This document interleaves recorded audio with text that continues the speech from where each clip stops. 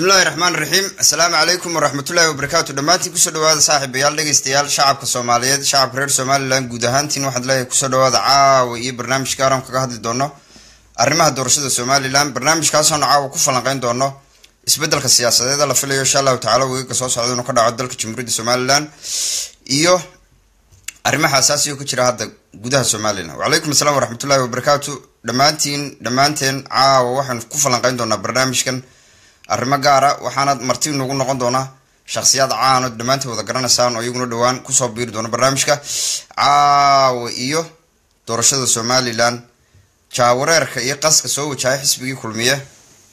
Runtii niyad jabka iyo cadhada faraha badan leh ka muuqata kaadiriinta xisbiga kulmiye ee dhibaatada badan ka muuqato run ahaantii ay maanta ugu dambeysay ninka la idhaahdo ina ina calibile aada wada dareemayseen dhammaantiin warwarka iyo cadhada iyo murugada haysatay ninka odaygaa qodobada iyo qodobo kale caawa waxaan ku falanqeyn doonaa barnaamijkan dhexdiisa intaynu ku jirno. Meel kastaa joogtaan saaxiibayaal daawadayaal dhegeystayaal ku soo dhawaada caawa iyo arrimaha doorashada somalilan. Aad baad mahadsantihin wacalaykum assalaam waraxmatullahi wabarakaatu. Aad baan idiin soo dhaweynaya soo dhawaada barnaamijkana inoo sii gudbiya insha allahu tacala aad baad mahadsantihiin barnaamijka horey baynu ka geli doonaa insha allah wacalaykum asalaam waraxmatullahi wabarakaatu soo dhawaada dhammaantiin.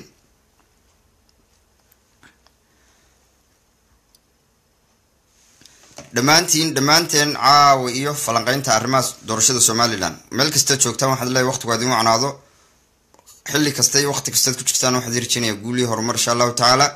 Caawa dad baan halkan ku wareysan doonaa shakhsiyaad caana oo barnaamijka qeyb ka noqon doona. Wacalaykum asalaam waraxmatullahi wabarakatu soo dhawaada dhammaantiin sidaas aan dii sheegay dalka jamhuuriyadda somalilan waxaa ka socota haddeer barnaamij runtii la odhan karo waxa weeye waa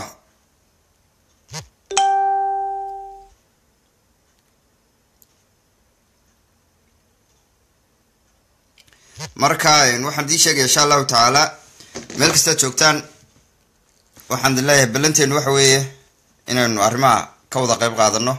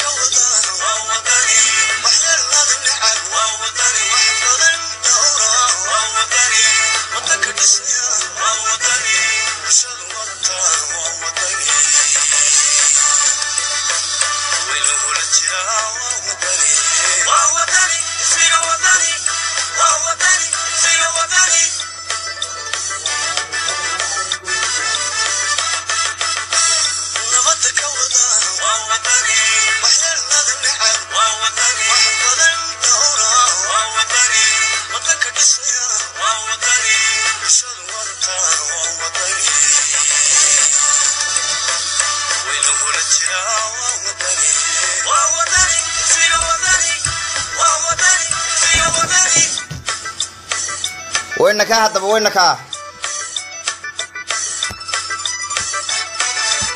caawa iyo qodobadaad warka ugu doorka roolna waxaynu ku falanqayn doonaa guuldarrada iyo qalbijabka soo wajahay kaadiriinta kulmiye amba nimanka la odhan karo waa niman isbaaristayaala oo runtii caadaystay dhiigga dadka iyo gudubta inay ku shaqaystaan xisbiga kulmiye wada ognahay wuxuu caadowaa ninka hogaaminaya afar iyo sagaashankii inuu dagaal sokeeyey dalkan ka riday. Dagaalkaa sokeeyana uu sabab uga dhigay cid gaara soomaali weyna cid baa meel u socota. Arrimaha iyo arrimo kale waxaanu caawa ku lafaguri doonaa barnaamijkan dhexdiisa. Caawa barnaamijka waxa marti inugu noqon doono dad aqoon-yahana oo ku kala nool adduunka dacaladiisa waxaa ka mid ah caawa dadka barnaamijkan martida inugu ah ku-xigeenka wasiirka caafimaadka dowladda wadani hadda soo socota haldoor saado jaamac. Waxaa kaloo barnaamijka caawa isaguna qayb ka ah aqoon-yahan cabdifataax oo isna aha nin falanqeeya siyaasadda somalilan waxaa kaloo barnaamijkan qayb ka ah caawa iyaduna ayaan cali wadani guddoomiye ku-xigeenka labaad ee xisbiga wadani ee qaaradda yurub iyo dhammaan shacabka somalilan oon fursad u siin doona caawa inay iyaguna ka hadlaan aragtidooda. Marka dhammaanteen dhammaantiin saaxiibayaal waxaynu gudagelaynaba waa barnaamijkii oo daqiiqadaha soo socda aynu si toosa u gudageli doono. Waxaan ugu horreysanaya barnaamijkan doonaya inaan ku soo dhaweeyo kuna marti qaado inay halkan inooga siiso warbixin kooban sida xaaladda dalku ku sugan yahay iyo marxaladda hadda somalilan marayso saado oo ah wasiir ku-xigeenka waktigeedii wax yar ka hareen ee dhaartu u dhiman tahay. Marka waxaan soo dhaweynayaa wasiiradda. Saada haddaad maqlayso walaal wax soo qor wax soo qor si aan ku arko misena aad halkan dadka uga soo jeediso halkay wax marayaan. Aad baan kuu salaamay saaxib. Aad baan kuu salaamay axmed. Dhammaantiin waan idin wada salaamayaa. Barnaamijka inoo sii gudbiya si aynu ula wadaagno asxaabteena kale iyo dhammaan guud ahaan shacabka kale reer somalilan si ay u arkaan xaqiiqada dhabta ee ka jirta geyga somalilan. Si kastaba ahaatee kaama tegay saaxib qof kastoo kamida barnaamijka caawa waan waan uu ka qayb qaadanayaa waana arrin runtii sharci baa ka yaalla arrintaasna waxa ku loo kala hari maayo meel kastood joogtaana waxaan leeyahay waktigu a idin wacnaado barnaamijkuna waxa weeye caawa wuxuu ku saabsan yahay arrintaa iyada ah meel kastood joogtaan waxaan leeyahay aad baad mahadsantihiin waxyaabaha qodobada ugu waaweyn ka hadli doona waxaa ka mid a arrimaha waktigan xaadirka halka wax marayaan sida waxay yihiin waxyaabaha soo socda.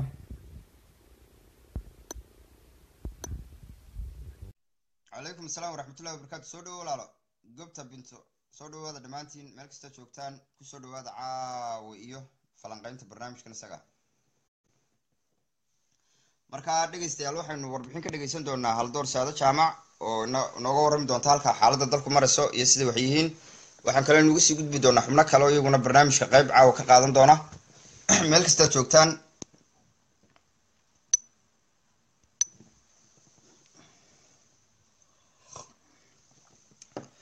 Aad baan idin salaamaya dhammaantiin meel kastaad joogtaan wakti kasta idintahay xilli kasta idintahay waxaad leeyahay waktigu idin wacnaado saado ma qabanaysid kolley waan ka xumahay. Ma aqaan cillad farsama jirta malaa waxaan ku dhowr jeer baan ku soo wacay. Ma qabanaysid waan idin soo wada qabanaya dhammaantiin. Dhammaantiin waan soo wada qabanaya barnaamijkana siday tahay baan gudagelina insha allahu tacaala. Marka saada aad baan kuu salamay walaal. Soo dhawo walaal soo dhawo aad baan kuu salaamaya.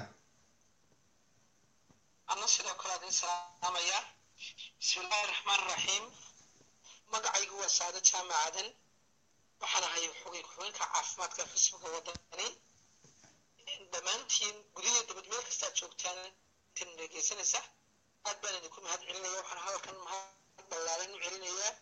Halbeer axmed cabdilaahi oo isu soo dabartay barnaamijkan oo suurto geliyey inaan aw anagu dalkii somaliland weliba khaasatan gobolka saaxil.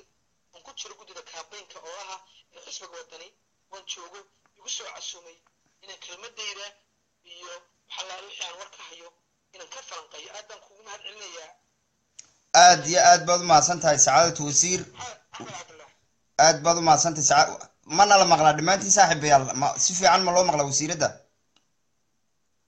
ha haddaad maqlaysaan waxaad soo qor saaxiibayaal si aan barnaamijka hore nugu sii aan ugu sii gudagalo.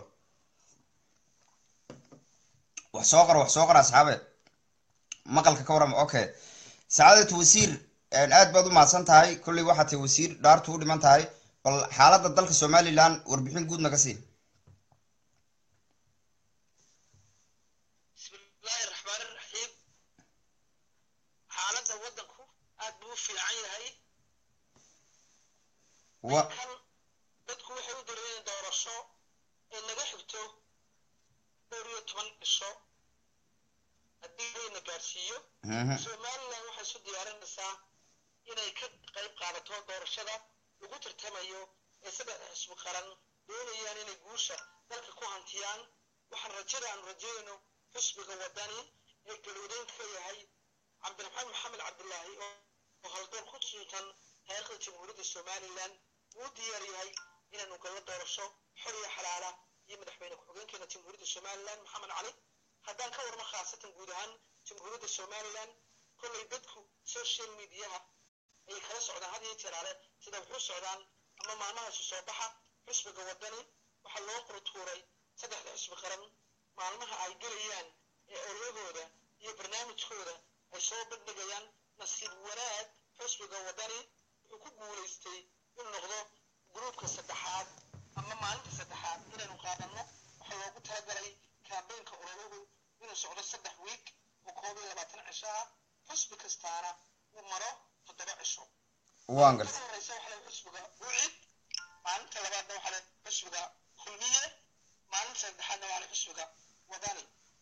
waan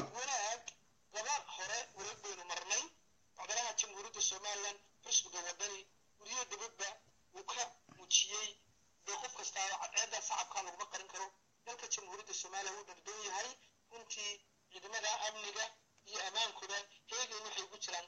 Dalkan iyo dadkanba inay doorasho xor iyo xaalaba ka dhacdo een soo far wax dhibaato ah weli may dhicin hawshana si fiican bay noogu socotaa madaxweynahana mustaqbalka dhow cabdiraxmaan maxamed cabdilaahi wareegii labaad wuxuu ka qayb galay ee gobolka awdal oo runtii waa laga dagaalo muujisay si fiicana looga soo qayb galay insha allah bismillahi karim doorkii wuxuu ku qorayay gobolka saaxil wareegeena saddexaad noqonaya maalinta axadda Mm. markaan isu soo ururiyo hawshu si fiican bay noogu socotaa oo wanaagsan oo sharaf iyo geesinimo ku jirto dadka somaliland waxay u qabaan u haraadan yihiin in dalkan isbeddel caafimaad qaba ka dhaco oo dalkooda ay ku aarsadaan fartooda. Ayaan rajinayaa aad baan idiin salaamaya dhammaantiin wixii information ama wixii waraa mar kastaba diyaar baan idin lahay waanaan idin soo dhaweynayaa guryo dibadda. Meel kastaad joogtaan dadka doonaya inay qayb qaataan barnaamijkan saad aad baad umahadsantay waxaa lagu weydiinayaa maxaad kaga duwantihin xisbiga kale idinla tartamaya bismillahi raxmaan raxiim waxaanu kaga duwannahay anagu xisbigayada nala tartamaya waxaan leenahay barnaamij siyaasadeed oo ka taag ah lix iyo laba iyo lixdan bayj oo lix tiira tiir kastaana waxba u qaadaa dhigayaa bulshada somaliland ee musuqmaasuqa hareeyey ee boodku hareeyey ee dadkayagii dhibaataysan yihiin ay ku baabiyeen saxaraha libiya ay dalkan markay jaamacadi ka baxeen wax ay shaqo ay waayeen ay tegeen wuxuu badbaadinayaa oo uu gurmad u yahay jamhuuriyadda somaliland inuu gurmad u noqdo xisbiga wadani oo isugu tegay aqoon-yahankii somaliland meel kastay joogaan labeentiisii ay joogaan. Waxa uu dalka iyo dadkan iyo xisbiga kulmi ee maanta waktigiisa dhammaaday aanu kaga duwanay barnaamijkayga siyaasadeed oo barnaam- barnaamij la lafaguray oo tiir kastaaba wax badan istuu taagayo oon doonayo caawa dadka iyo bulshadayda inaan u gaargareeyo runtii annagu een, xisbi wadani ahaan waxaanu soo dhaweynaynaa halyeygana hogaaminaya waa halyeey diblomaasi ahaa oo wuxuu jaanis u helay inuu madaxweynayaashan iminka u taagan ee kulmiye iyo uu kaga duwanaado waa siyaasi caana wadan jiro ahaan jiray markii hore ruus joogay markii dambe noqday gudoomiyaha baarlamaanka jamhuuriyadda somaliland oo saddex madaxweyne la shaqeeyey oo runtii lafdhabar u ah inuu bulshada somaliland hogaamiyo ayaan anagu kaga duwannahay barnaamijkeeda siyaasadeed ee aanu iibinaynaana. Waa tiir runtii ku dheehan tahay waxqabad inuu jamhuuriyadda axmed okay arrinta waxaad ugu dambeyn ku weydiinayaa sacaadatu wasiir. Arrinta caafimaadka dalka xaaladiisu waa sidee hadda maadaama adiga shaqadaadu tahay wasaaradda caafimaadka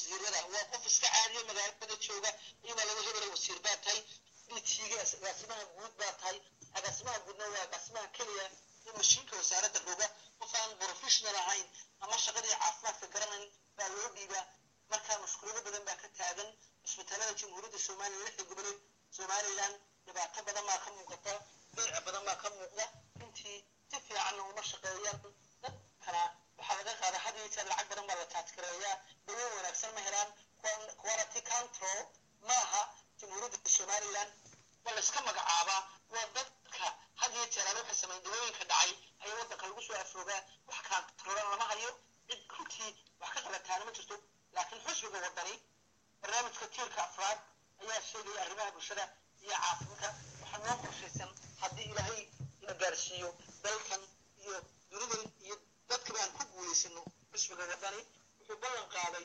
jamhuuriyadda somalilan lixda goboleed somalilan inuu qorsheeyey inuu ka sameeyo sagaasan xarumo caafimaad inuu sameeyo waxaa noo qorshaysan ciidamada qalabka sida ee dalkan iyo dunidan lagu naaloonayo ilaaliya ee heeganka u ah in iyaga loo sameeyo cusbitaal weyn iyaga iyo qoyskoodaba in lagu xanaaneeyo ayaa qorshaha xisbiga waddani ugu jira waxaa noogu jira inaanu sameyno cusbitaallo caalamiya oo sida waddanka dunya dunida horu martay oo dadku u isticmaalaan oo qallinada xaggii tirada ku dhaca ama dhibaatada ku dhacday dibadaha looga tago dowladaha jaarkana ah sida etoobiya jabuuti loo tago inaan insha allah bismillahi karim samayno cusbitaal qalabkiisa dhamaystiran yahay oo ay joogaan shaqaalo qualified neerasa oo xirfadlayaala hadday dhakhaatiir tahay hadday dhakhaatiir tahay oonu ka dhigno sida caalamka oo kale cusbitaalladiisa oo kale ayaa noo qorshaysan xisbi ahaan. Oonu ku nool haddii aan ku guulaysno dalka inaan hogaamino madaxweyne ka noqda cabdiraxmaan maxamed cabdillaahi.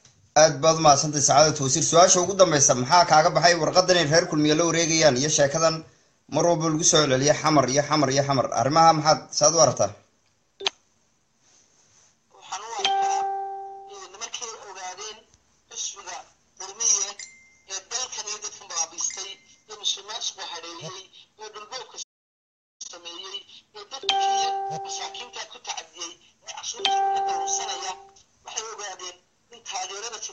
somalilan lagaga badayay lixda gobol ee jamhuuriyadda somalilan marka waxay doonaya bulshada somalilan inay nacsiyaan xisbiga waddani way ka been abuuraan ee maalin warqad beena soo sameystaan iyagoo salaantooda ay leerayaan ayay rabaan shicibka somalilan ee taageeraysa xisbiga waddani inay ku lumiyaan in dadku ay kala tagaan ay dhahaan waa soomaali weyn u taageeraya xisbiga waddani taasna waxaan u aragnaa taageerayaasha xisbiga waddani gudyadood meel kastay joogaan arrinkaa waa la isgaarsiiyey farrinta inay tahay sheeko been oo cad oo aan sadii raatoona lahayn waxaa jirta maalin dhoweyd shalay maheed daraad in wasiirkii macdanta iyo tamartu isagoo burcad jooga ka qudubaynaya ee afka kaga dhacday ha noolaato soomaaliya sheekadaas waa fashil iyagoo ay soo sameeyeen dadkeena iyo taageerayaasha xisbiga waddani wuu ogyihiin axmedow aad iyo aad baad umahadsan tahay. Sacaadatu wasiir haldoor saado jaamac. Maxaad ugu baaqaysaa ugu dambeyn shacabka reer somalilan ku dhegeysanaya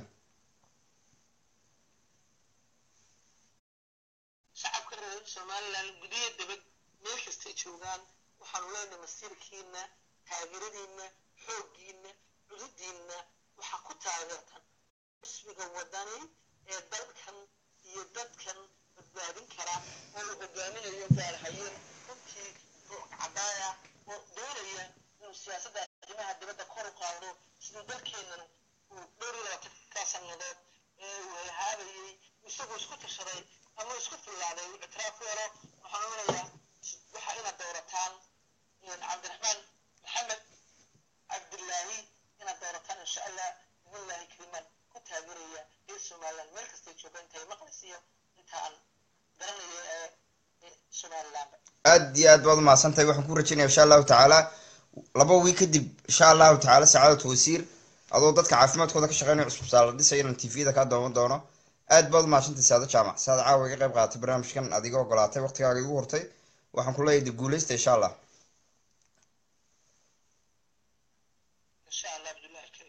haye oo aad iyo aad baad umahadsantahay sa taasuna waxay tahay aqoon-yahan haldoor saado jaamac oo nagala soo xidhiirsa gobolka saaxil ay ka mid tahay guddida kambeynka ee xisbiga waddani ahna wasiir ku-xigeenka caafimaadka jamhuuriyadda somalilan ee waqtigiisii ay ka hadhay muddo dayro kooban. Saado dee dhaartu ma idin dhamanay allah idin allah idinku simo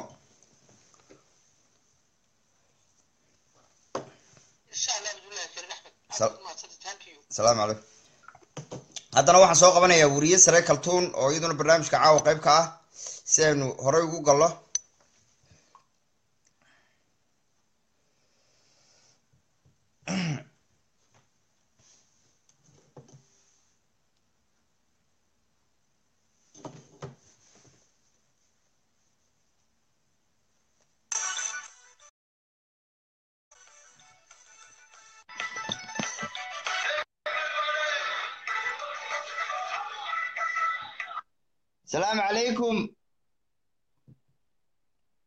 asalaamu calaykum waraxmatullaahi tacaala wabarakaatu aad baan kuu salaamaya axmed.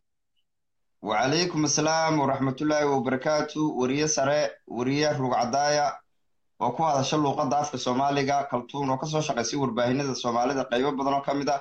Waad dhammaantiin wada garanaysaan caawa waxay qayb ka tahay barnaamijkan isaga ah.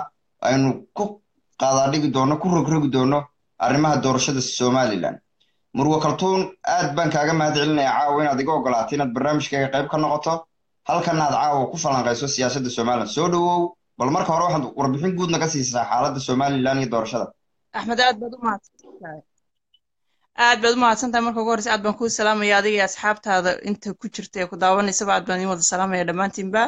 Mar labaad waxaan leeyahay asalaamu calaykum waraxmatullaahi tacaala wabarakaatu meel walba oo aad joogtaanba sama iyo sharaf ku noolaadan leeyahay ummadda soomaaliya meel walba ay joogto waxaad ka hadlaysay bay ila tahay doorashada somalilan iyo? Maanta waxaanu ka hadlayna walaal arrimaha doorashada somalilan guulaha xisbiga wadani guuldarrada xisbiga kulmiye iyo arrintan ilaa afar iyo sagaashkii soo noqnoqonaysa muuse bixi garwadeenka ka yahay la leeyahay cid baa xamar ku socota. Ee maantana ay kolba warqad yar qorayaan aynu ogeyn bishii labiyo tobnaad markii wargeeska weyna ka soo baxa dalka kenya ay lacagta siiyeen tv-ga calson ay ka been abuureen wiigan ugu dambeysay tv-ga bulsho laga been abuuray wiil muqdisho hargeysa ka diray laba wiil ka hor muuse biixi oo sagal jed ninka leh oo sheerka ku yihiin muuse biixi. Uu warbixinta dhoobdhoobi sameeyey haddana warqad bay daabaceen ay la wareegeysanayaan internetka dhexdiisa iyo social media. Markaa kaltuunay maanta waxyaabahan la yaaba waxa kamida nin aad u cadhaysa maarko la yidhahdo inaa calibile runtii aqoon-yahan baa lagu sheegaa laakiin ninkaa waxa ka muuqatay caadifad fara badan dhibaato fara badan ba wejigiisa ka muuqatay. Warqadu isagu qoray been abuurka ahayd buu haddana waddana ku eedaynaya marka qodobada iyo qodobo kalaan caawa ku falanqaynaynaa maxaa kaaga baxay waxaa soo arrina walaal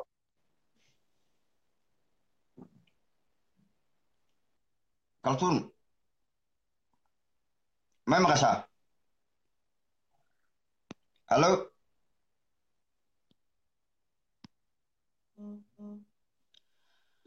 kaltuun xoogay khadka kaga yara dhegin baan malaynayaa kaltuun mana maqashaa walaalo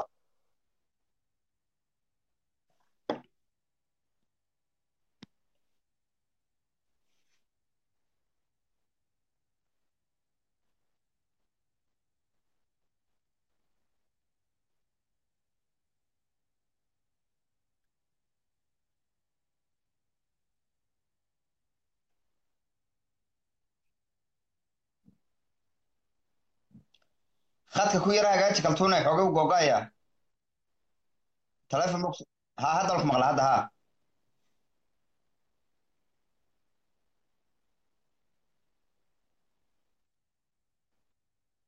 Ha ha hadda wala telefon box soo qarqaraacaya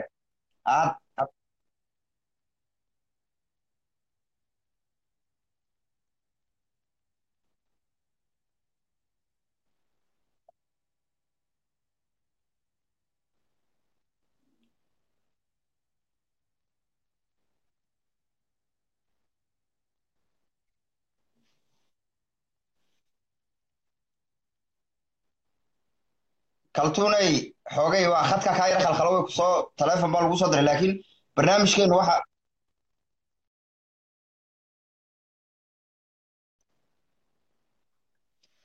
ha ha dhammaantiin saaxiib yaal ku soo dhawaada caawa iyo falanqaynta arrimaha doorashada somalilan oo meel xasaasiya maraysa.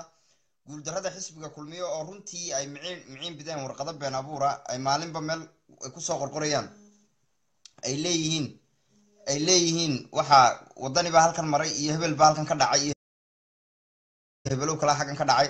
Runtii arrimahaas waxaan u aragnaa waxyaabo maaragtay laga xishoodo oo iska maaragtay daciifnimoa aniga waxay la tahay markaa aragtidayda xisbigan kulmiye barnaamijkiisu wuxuu u eegyahay misena u muuqdaa kun sagaal boqol sagaashan iyo afartii dagaalkii sokeeye oo ninkan hadda madaxweynaha u sharaxan oo hormuudka ka ahaa muuse biixi cabdi ay ku dhinteen.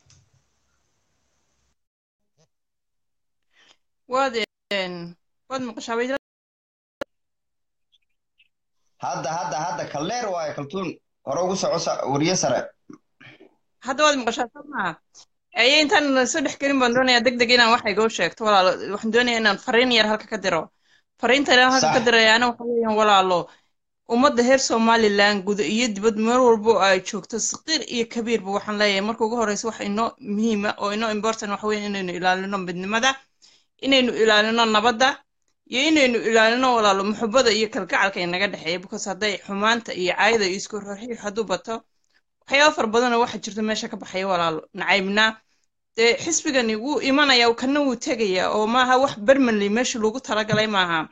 Kulmiya haddaynu nahno wuu joogaya wilgayaalihii wuu joogaya ma joogaya the end of the day maalin buu baxaya oo tegaya ma fahantay wadani hadduu wadani hadduu guulaysto laga yaabaa berika maalinta uu baxaya wuu tegaya walaalo oo wax saa meesha u soo taagnaanaya maaha. Midda kale qaabka dimuqraadiyadda la yidhahdaa waxay tahay in mataqaanaa dadku ay wejigii isbedelaan dadku inay isbedelaan inuu isbeddel meesha yimaado. Kuwan shalay la soo arkay mahaan kuwo kalena inay yimaadaan ma aragta. Marka haddaynu isku wada raacnaynu nahno kaasunbaa weligayaalaysaa u soo taagnaanayo oo aynu wadaynaa oo aynu ku taageeraynaa. Dee wax dimuqraadiyad la yidhahdaa meeshii ma jirto wala marka caburin baa imanaysa. Dadna waxay tabashay tabanayaano waxay doonayaan dee inay waddankii ka qayb qaataan dhismihiisi ma garanaysaa si fiican. Dadna mataqaana waxay doonayaan inay kursigii ku dhagaan oo ay saa u fadhiyaan weligoodyaalahood marka taasina ma soconaysa maaha marka waxaan leeyahay qaabka dimuqraadiyadda haddaynu fahamsannahay waxa weeyaan inaynu isku taageerno. The end of the day kii ilaahay u qoray unbaa kursiga ku fadhiisanayo ma fahantay si fiican. Hafood ha la galo ama ha la ololeeyo ama wix la doonaya ha lagu rido kii ilaahay u qoray unbaa kursiga ku fadhiisanaya the end of the day kii kaa kursiga ku fadhiista in aynu mataqaanaa la shaqayno daba fadhiisano ayaan mataqaanaa jeclay talabaad waxaan doonaya walaalo inaan arrintan ka hadlo la leeyahay xamar baa la geenaya iyo xamar baa mataqaanaa looga sacabtumaya iyo xamar iyo sheekadan laysla dhex qaadayo ayaan doonaya inaan in yar taataabtaan ka hadlo. Somaliland marka aynu nahay dadka walaalo intay inaga tagaan xamar taga ee xamar ka soo shaqeeya ee qadiyadda soomaaliya aaminsan markay somalilan dib ugu soo noqdaan oo ay iska soo dhiimaan ama ay yirahdaan ma doonin inay somalilan dib ugu soo noqdaan. Waxaynu u samaynaa soo dhoweyn aad iyo aad u ballaadhan waxaynu tusnaa weji aad iyo aad u qurux badan si aynu dadka u soo jiidano ma fahantay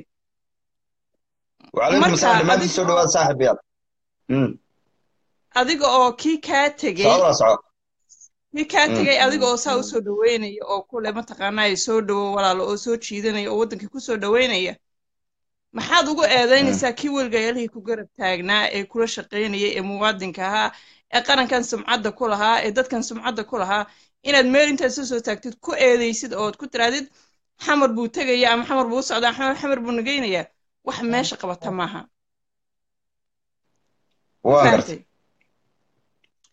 Shay meesha qabta maaha. Aniga waxay ila tahay inay nagu tahay daciifnimo inay nagu tahay ceeb inay nagu tahay inaynu inagu hoos isu dhigayno inay inagu tahay mataqaana inaynu dhulka soo dhacayno xamar haddaynu mataqaanaa saaba isugu eedaynayno inaynu doonayno leenahay xamar iyo xamar aynu isku rexdheexayno de miyaynu qabigeena waxaynu faraha ku hayno ka qaadno dabatan xamar iskaba tagno what's the point? Bahasha horta xamar xamar wasiirkii waad maqlaysa. Wasiirkii aan kaa dhex gala wasiirkii wasiirkii macdantii biyaha wasiirka ugu awoodda badan xukuumadda somaliland waan maqlaya walaalo waan maqlaya soomaali soomaaliya ha noolaato isaga macnaha soomaaliya wadahadalka dowladnimo iyo saxeexa dekedaha iyo madaarada. Cidda qure xidhiirka kulale waa xisbiga kulmiye. Ciddii dekeda loo saxeexay waa xisbiga kulmiye ay u saxeexeen xasan sheekh maxamuud iyo ra'iisul wasaare hore magaranaysa ina cabdirashiid. Iminkana cidda mar walba barnaamij yaray rabaan ku kacsataa waa iyaga. Laakiin soomaaliya etoobiyaba walaalaynu idhaahnaayo walaalaheena etoobiya la yidhaa xamar. Maxaa la iskugu quuqinaya jabuuti ba oo laga taageeraa xisbiga kulmiye. Bal arrinta hadda noo yara saad u aragtaa kaltuune anu waaban la yaabanayba soomaaliya maani dad walaalehen ahayn walaalow anigu horta anigu xamar wax khalada uma arko ma fahantay xamar wax khalada wax weyna uma arko. Xamarna waa waa waa magaalo. Wax waxay kugu samaysay. Ma jirto magaaladu cagayo lugeynta yaratay kuma imana kumay dilinin waxay islayseen ee ismaan dhaafteen waa ummad waa shaqsi waa dad weeyaan. Ma fahantay hargeysa intay lugeysay de xamar umay tegin ismay soo laynin xamarna intay soo lugeysay hargeysa uma imano ismay dilinin de walaalo. Dhulkan ilaahay baa mataqaanaa meesha dhigo waa dhulkii ilaahay marka inaynu mataqaanaa ay nagaga dhigto un xamar xamar xamar xamar. Horta maaha khalad baan u arkaa anigu xamar. Xamar ummad soomaaliyeed baa degan ummad walaalaheenaa degan waxalaale waxaanu isu qabnaa ma jirto. Wixii dhacay way dhaceen waxa dhacayna waa laga samraa waa la ilaawa waxaa museumka la dhigaa waa la iska ilaawa ma fahantay dal aanay adduunkan soo marin oo aanay dhibaata ka dhex dhicin ama aanay dhibaato laysu soo marin ma jirto adduunkan. Dal walba dagaal buu soo maray. You name it. Wadamadan deganahay dagaal bay soo wada mareen ma fahantay museumka la dhigaa walaal waxyaaba caynkaasoo kalea taariikh baa la yidhahdaa museumka la dhigaa laakiin waxan waa la iska ilaawaa. Ma fahantay haddaad doonayso horumar inaad gaadhid adigu horumar aad ku socotid dalkaaga aad adigu joogtay adigu talinaysid adigu waxaad ugu talin lahayd iyo maskaxda iyo fikirkii keen meesha. Saad adigu ugu talin lahayd meesha keen waxaad adigu waddankaaga u qaban lahayd keen meesha. Waxaa lagaa rabaa walaalo waxaa lagaa rabaa walaalo dastuur baa lagaa rabaa sharci baa lagaa rabaa waxa dalkan ku dhaqi lahayd baa lagaa rabaa maskax fayo baa lagaa rabaa waxa dalkan ku wada lahayd baa lagaa rabaa. Laakiin siyaasadaadii dhan hadday isugu soo ururtay xamar buu na geenaya xamar buu nagu wadaa iyo waa faqash iyo waa caynkan iyo waa keer iyo waa kan. De walaal meel inama geynayso waxaan xumaanahayna meesha kama sii dhalanayaan. Ma fahantay ummaddan aynu aynu mataqaanaa afar iyo labaatanka saacad afka ku taagaynayno cayanana waa ummad aynu walaalanahay the end of the day waxaad wanaag ku weyday xumaan kuma helaysid. Ma fahantay nacam nacam iyaga laftigooda iyaga laftigooda walaalo dee arrimaa iskaga keen jiro oo dad walaalaheena ma fahantay si fiican. Ka inaga khaladka inaga gale la fadhiya even haddaan maanta halka isu tagno kuna khaladka naga gale in la fadhiya noo soo qabta. Oo aad maalin walba adigu xumaatada intaa la kariyeed garanaysid xumaatada intaa aad samaynaysid aad ku hadlaysid. Marka wanaagga idinka dhexeeya muxuu yahay maxaa meesha imanaya? Bayla tahay marka arrinta ayada ah waxaan u arkaa khalad baan u arkaa. Xamar in laysku kuuqiyana khalad baan arkaa kaas xamar baal maaha. Ma fahantay ummad soomaaliyeed baa degan ku faraxsan maxay tahay nabad ku haysata ku nool waanu u dacaynaynaa waxaanu leenahay ilaahay ha siiyo mataqaanaaye barbaraar iyo nolol fiican. Ilaahay dhibka ha ka yarayaanu leenahay waanu u dacaynaynaa dee si qalbiga laaba ma garatay si fiican baa timaaday. Somalilan baa timaaday. Somalilan waxa leeyahay xisbiyadani. Kii ilaahay u qoron baa doorta mataqaanaa talada dalka gacanta ku dhigay midka kuma dhigayo waana qoranta already inagu imika waynu iska hadlaynaa waxaan waa wax qoran weeyaan wax qoran weeyaan inagu imika waynu saboor garaynaynaa kaasaynu rabnay kaasaynu rabnaa afkun baynu ka leenahay laakiin waa wax qoran weeyaan waxaan. Ma fahantay boqolkiiba boqol ama muusaa ku fadhiisanaya ama muusaa ku fadhiisanaya ama ciraa ku fadhiisanaya ama faysal baa ku fadhiisanaya saddexdaa midun baa ku fadhiisanaya. Kii ku fadhiistaaba inaga waa inoo kii kale inaynu istaba taagno la shaqayno muhiimaddu waa inaynu danta dalka ka shaqayno inaynu dalka ogaano inuu nabad yahay inaynu istaba taagno inaynu midnimada somalilan adkayno inaynu xumaanta iyo cayda iyo cunfiga iyo waxaanaynu istaba gelinayno inaynu iska joojina horta runtii qurux badan. Ma fahantay kaltuun waxaad iiga warantaa arrintan bishii labayo tobnaad haddaynu dib ugu noqonno wargeyska weyne ka soo baxa dalka kenya lacag laba boqoloo kun oo dollar ay ku bixiyaan xisbiga kulmiye. Inamo yararoo ina bakayla iyo mar ay hargeysa ka direen codod bay isku soo jarjareen waxay dhahan farmaajo ciraas la kulmay hadda waxaa la sameeyey dad masaakiin oo afar saddex qof ah oo ninkan segaltle muuse bixi sheerka ku leeyahay lacag aad u tiro badan bay ku bixiyeen. Inay afar qof oo masaakiin oo xitaa magaca ciro aan garaneen oo odhanaya cali ciro jaamac ciro maxamed ciro. Dowlad mid baa wuxuu yidhi dowladda burco mid baa u haysta inay burco dowlad gaaratay moogta afartaa qof ee masaakiinta halka lagu ururiyey. Ninka maanta ka hadlayana cali bile la leey waa aqoon-yahan taariikhda waxaan ku hayaa inuu ahaa u bixi kacaanka dowladdii maxamed siyaad barre inay dowladihii soomaaliya uu wax ku soo bartay ay soo xanaanayn jireen. Madadaamo ahaa nin bilaa waalid oo waalidlaan ku soo koray aakhirkiina qabiil ka mid a qabiilada somalilan layidhi ku abtirso sidaan ku haya taariikhdiisa dhabta ah. Marka arrimahaas sidaad u arataa daciifka ay xisbiga kulmiga ku aamingaranayaan walaalo horta anigu ninka taariikhdiisa ma hayo. Maxay tahay mana doonay barsenal lifekiisa ina mataqaanaa siyo laakiinse waxa keliya meesha aniga iga muuqday waxay ahayd been cad oo la sameeyey oo la abaabulay. In mataqaanaa dad inta meel laysugu keenay lacag la siiyey oo lagu yidhi mataqaanaa shifilinka caynka iyo caynkaasi matala ama waxaa yidhaahda xitaa magaca xitaa madaxweynaha. Si fiican umay garanaynin. Aadan ciro ismaaciil ciro bay bay lahaayeen. De waad iska garanaysa inay been cad tahay oo meesha lagu soo abaabulay. Marka anu waxaan la yaabay oo aan la sii yaabay dadka waaweyn ee mas'uuliyiinta ah ee intay dirsadeen lacag weliba been intay abaabuleen. Beentii caddayd halkaa ay taagantoo ummadii o dhan wada arkayso because ilmaha yar laba jirka xitaa kaama iibsanaya walaa waxyaaba caynkaas oo intay abaabuleen haddana intay isla soo taageen een, maxay tahay fargaarihii haddana ku qudbadaynaya doonaya dadki inay ugu sii qudbadeeyaan waxaayo waxaayo waxaasuu sameeyey. Oo la ogayay waxaan inay been cad tahay in la soo abaabulay inay even yagu mataqaanaa waxaan ay ka dambeeyeen ayagu direen lacagta direen yeesaa yeesaa noo sameeya kaanu waxaan u arkaa inay meelkadhac aad iyo aad weyn tahay meelkadhac aad iyo aad u tahay in iyaga samcadoodii weliba hoos u sii dhigayso. Waa mas'uuliyiin waa mas'uuliyiin. Dalkan waxay ka rabaan ka ay mataqaanaa beenta ka abuurayaan iyo ka ay beenta ka sheegayaan kulli cod bay ka wada rabaan. Soo maaha kan mataqaanaa ha cid walba waxay doonay cod bay ka rabaan. Marka codka markaad doonaysid oo doonaysid ummaddu inay ku codayso waxa wanaagsan in aad mataqaanaa si qurux badan oo quman ummadii oo dhan inaan xagxagano oo aad uga baxdid de yacni inaad muujaysid inaad qof wanaagsan tahay soo maaha. Laakiin hadda- haddaad waxyaaba caynkaas oo kale a fagaara isla soo taagtid lacag aad dirto oo tiraada been iisoo abuura. Maxay tahay wixii la soo beenay haddana lagaa daba keeno lagu yidhahdo waxaas waa been oo si iyagaa noo soo dir. Wixiiba ay cad yihiinba waxan inay wax la soo abuuray ay tahay been tahay. Haddana inay ku qudbadeeyaan intay meel fagaara ay soo taagaan ay yidhahdaan waa caynka iyo caynka. Waxaan u arkaa ceeb waxaan u arkaa fadeexad waxaan u arkaa doqoniino waxaan u arkaa yacni wax aad iyo aad u liita. Waxaan leeyahay ka ilbaxa. Waxyaaba caynkaas ka ilbaxa. dad badan baa salaam kuusoo qorayo taageerayaal badan baad leedahay waxay leeyihiin kaltuun nagu salaan. Qof baa wuxuu ku soo weydiinayaa maxaad waddani ku dooratay? Waan idin salaamaya aad iyo aad baan idin salaamaya dhammaantiinba aad baan idin salaamaya walaalayaal Eh, waddani waxaan ku doortay waddankan aan jooga aan deganahayba laybarkaan doortay. Mar walbana laybarkan foodkayga ugu ridaa.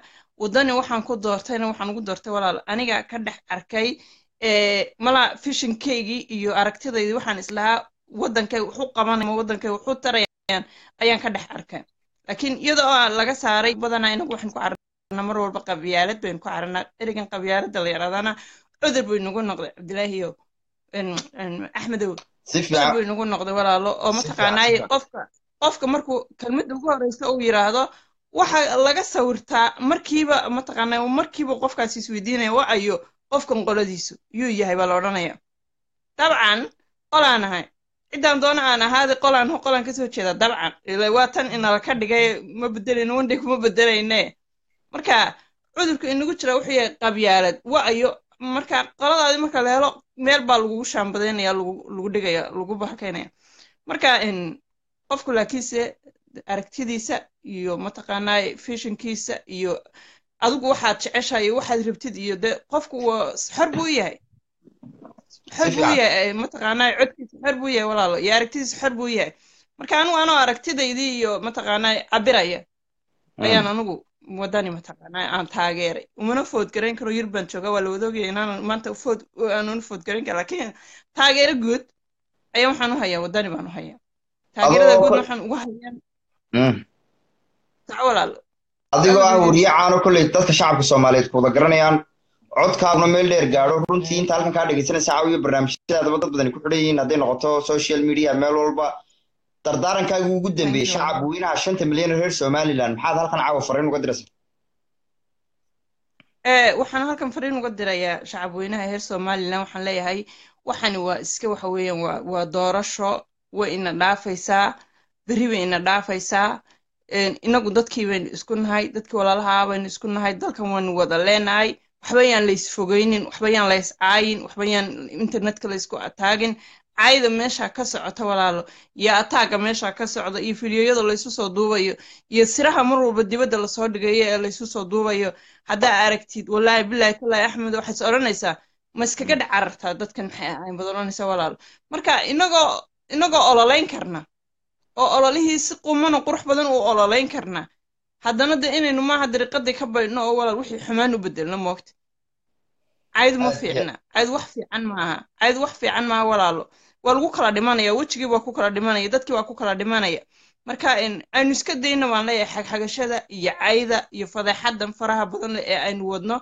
Laakiin haddii aynu doonayno inaynu ololeyno de nin walba wuxuu yaha uga ololee ila xisbigu wuxuu leeyahay buug buu leeyahay manifestuu leeyahay wuxuu leeyahay program buu leeyahay. De programkiisa ugu olole miyaanay ahayn?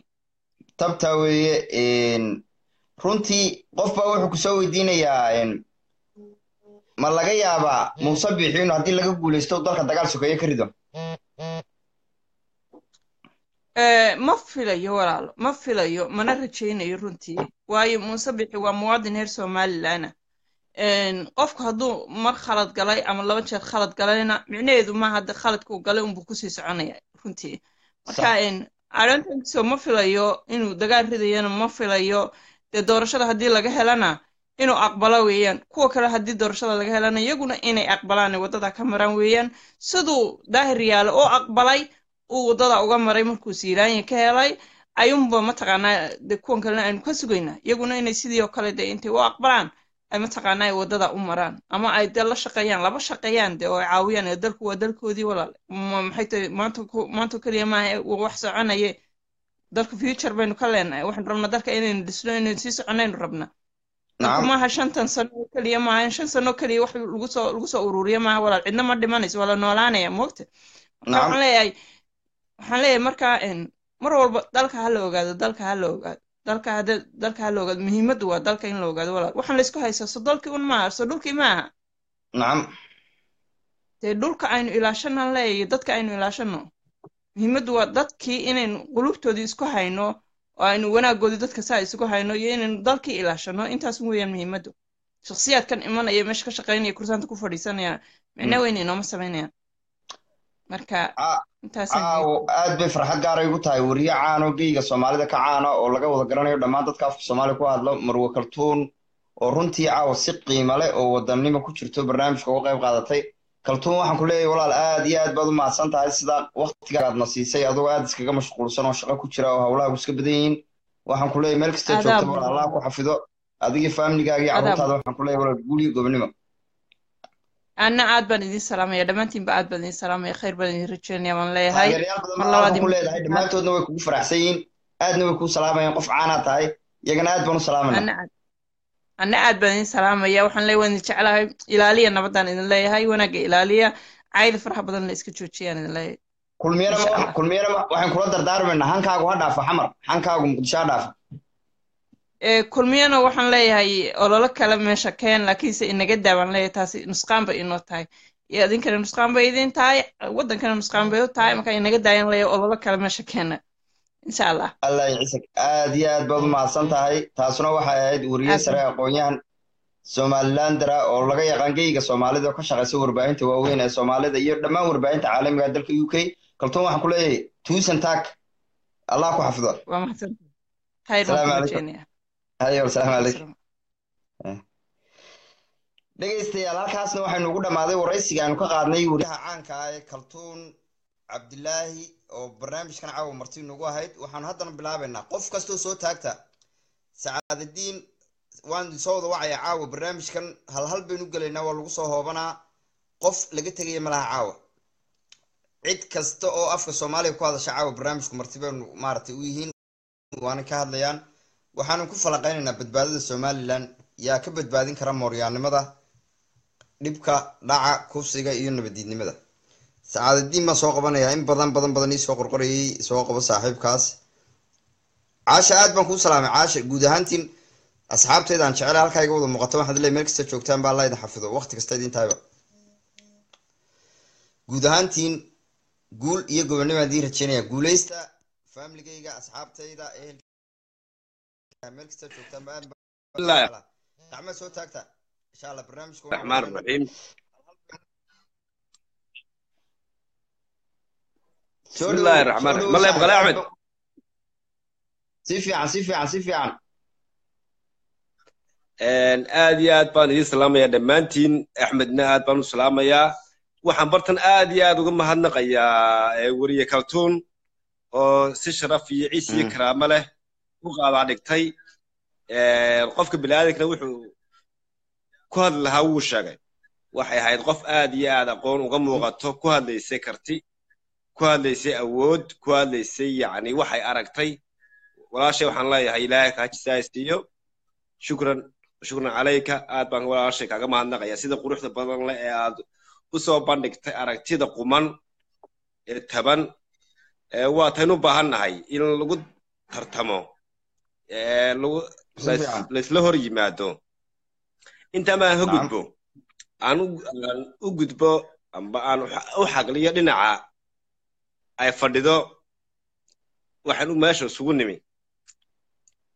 Ugu horayn xisbiga waddani.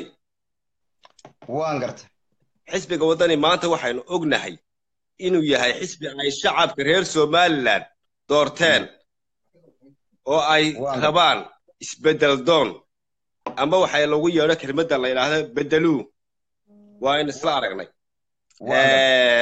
Waxaa jirta hadallo xanaf reebay oo ay ku hadlayeen qolada kulmiye ee muuse biixi u yahay horjoogaha uma aqoonsani inay inay rabaan in ay hoggaamiyaan xisbi amba dal amba qaran xisbigan kulmiye la leeyahy ee maanta dhaxalkii siilaayo raba in ay ummadda ku fadeexadeeyaan. Madaxweyne axmed maxamed maxamuud siilaayo waxa weeye waxaynu ognahay in ay aynu ognahay in ay doonayaan in ay ceeb iyo fadeexad dhexal siiyaan madaxweyneheena qaranka. Waxa weeye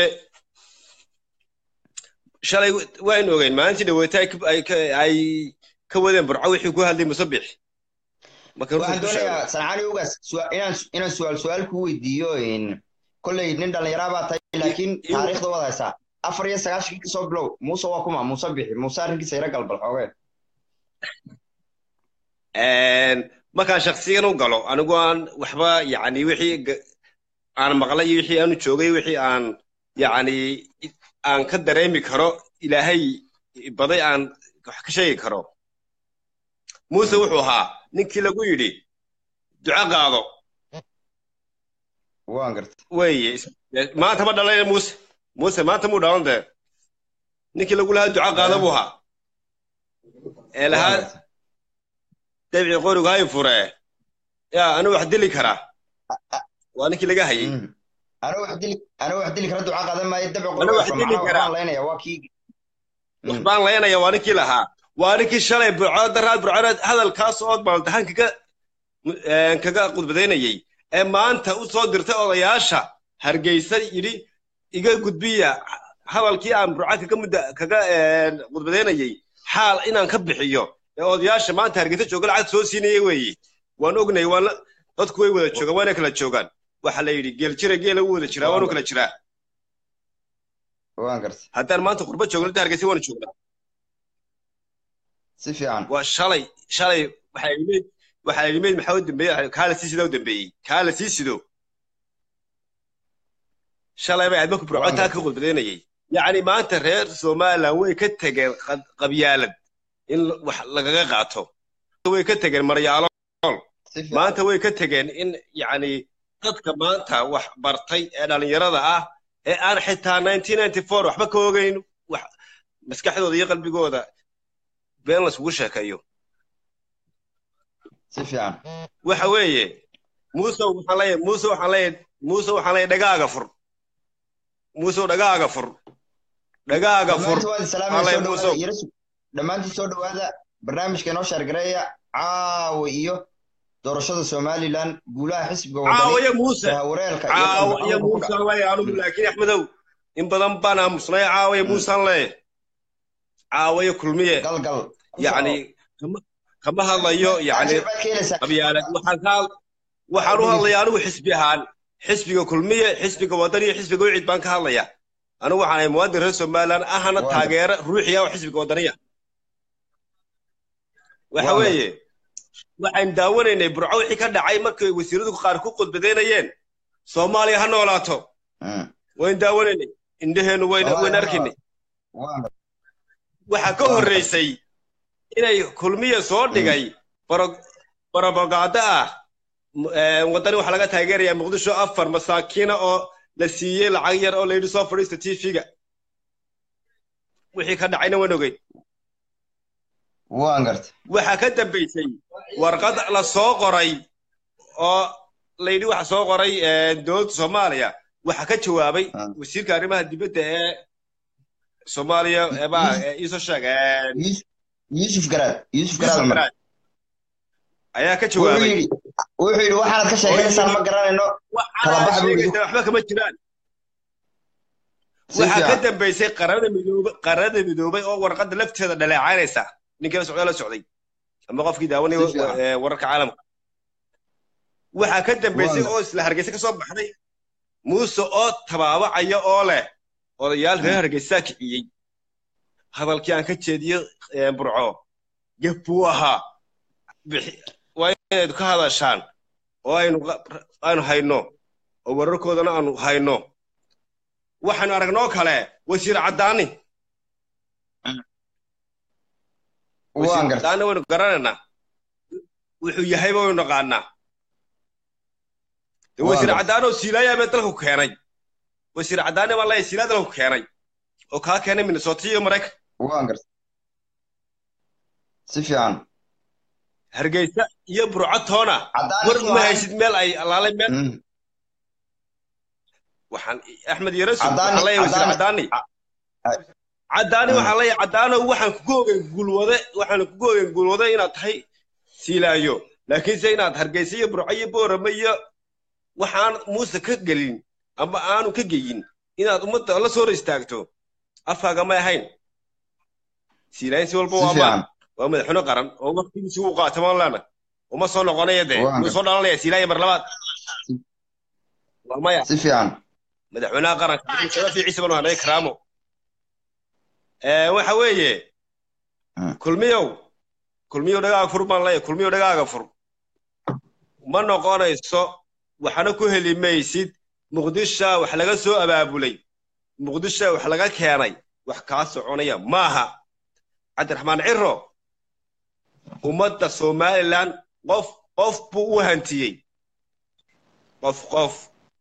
Aa waxaan u baahanahay qofka kulmiye taageersan. Aniga wuu ha ka qorto barta ciwaankayga aniga hay soo waco doodna hayla galo lifena unu soo gelaya. Si fiican. Wuxuu muuse ku taageerayo aniga hay soo hordhigo lifena unu soo gelinaya weliba program barnaamijku lifaan soo gelinaya. Wuxuu muuse ku dooday. Waxaan wax ka qabanayaa dhaqaalo isoo waxaan wax ka qabanaya buu yidhi banka rabsiga. Waxaan wax ka qabanaya bangiyada. Waxaan wax ka qabanaya buu yidhi hantida la dhacay oo maantuu kulmiye yahay dalka maamulaane xagay joogeen. Maye may wax ka qabtaan? Shalay markay dalka la wareegayeen. Tobanka doolar lix kun buu ahaa. Maanta intuu maray wayn la soconnaa iskuulladii baa la cuno cali mareexaa meeshuu geeyey kulmiye muxuu uga qaban waaya musabix waar ma been bayn isku sheegaynaa waar maxayn rabnaa maynan mustaqbal rabin. Waar anigu waxaan rabaa mustaqbal baan rabaa. Waar anigu ma raacsani shaksiyan ma taageersani.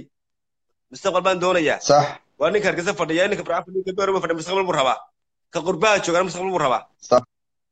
War haddaan dekadii berberi meeday war meeday xagee ku dhacday. War yaa la weydiinayaa. Si fiican.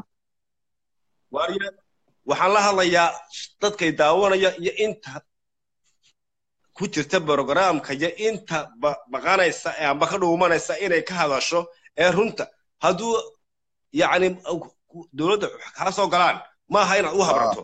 Waa xaqaagi waa xuquuqdaadi waa cashuurtiina laga qaadayey. Maanta qofka kasta oo qurba joogo somalilandari lacagtu diro waalidku diro cashuur baa laga qaadaa. Maaha inaad yacni ugu hagrato. Boqol qof had dirto hal doolar bay dowladda ku leedahay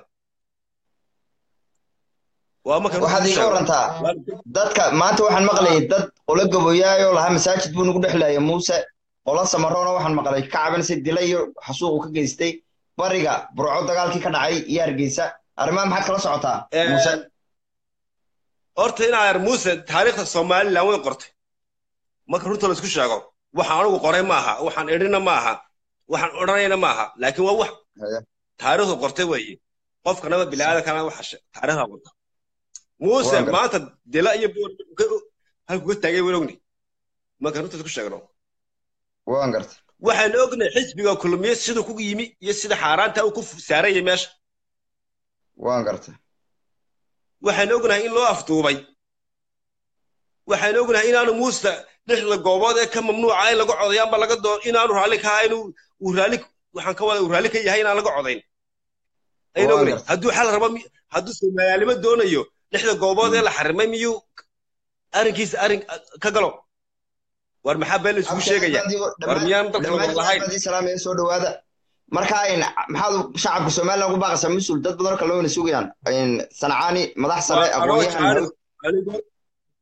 anigoo og in badan amba jaaskana sugaya bixinaya walaaladeeda dooda raba ka qabatana siinaya labaan ku soo gabagabaynaya war waxaan leeyahay dhalinyaranay maanta waar dal baynu ka nimi. Waar mujaahidnimada muuse dee boqol mujaahidiin ba dalka jooga yaan mujaahidnimada muuse yaan idin muuqan.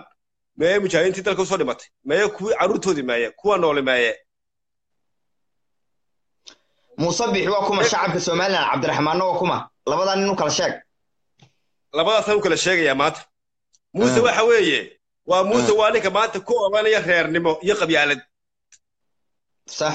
Ee jeegaantii weli dadku nacay dabada haysta ee ku oranaya qabyaalad muuse cabdiraxmaan maxamed cabdilaahina waa ninka giraanta wata ee somaliland cidhifka cidhif giraan giraantiyo jeegaanta u kala saar dad badan baan fahansanayn uu yaro jilci. Giraan maxaa la dhahaa? Jeegaana maxaa la yidhaha? Giraani waxa weeye giraani waa tahay dacal bilow ilaa dacal is haysata. Jeegaana waxa waa la yaqaanaa jeegaana somaliland laba reer ka weyn. Somaliland markaan u hadlo si yacni dadkaan u fahansiiyo raba inaan axmed u fahansiiyo. Somaliland laba reer ka weyn. Somaliland laba reer ka weyn. Waxba anagoo qarinay somaliland sacad musiiyo habar jecle ka weyn. Si fiican. Waa marka dadku inta xumaanta rabtaa siday doontaa u qaadato laakiin aniga xumaaniga maa waa waa jeegaan macnaha jeegaan. Somaliland habar jeclo iyo sacad muuse ka weyn somaliland. Maxaad ugu baaqaysaa ugu dambeyn markaa dadka o dhan? Waxaan ugu baaqayaa dowladda masaajidka la wareegaysa ee muuse biixi yahay. Faraha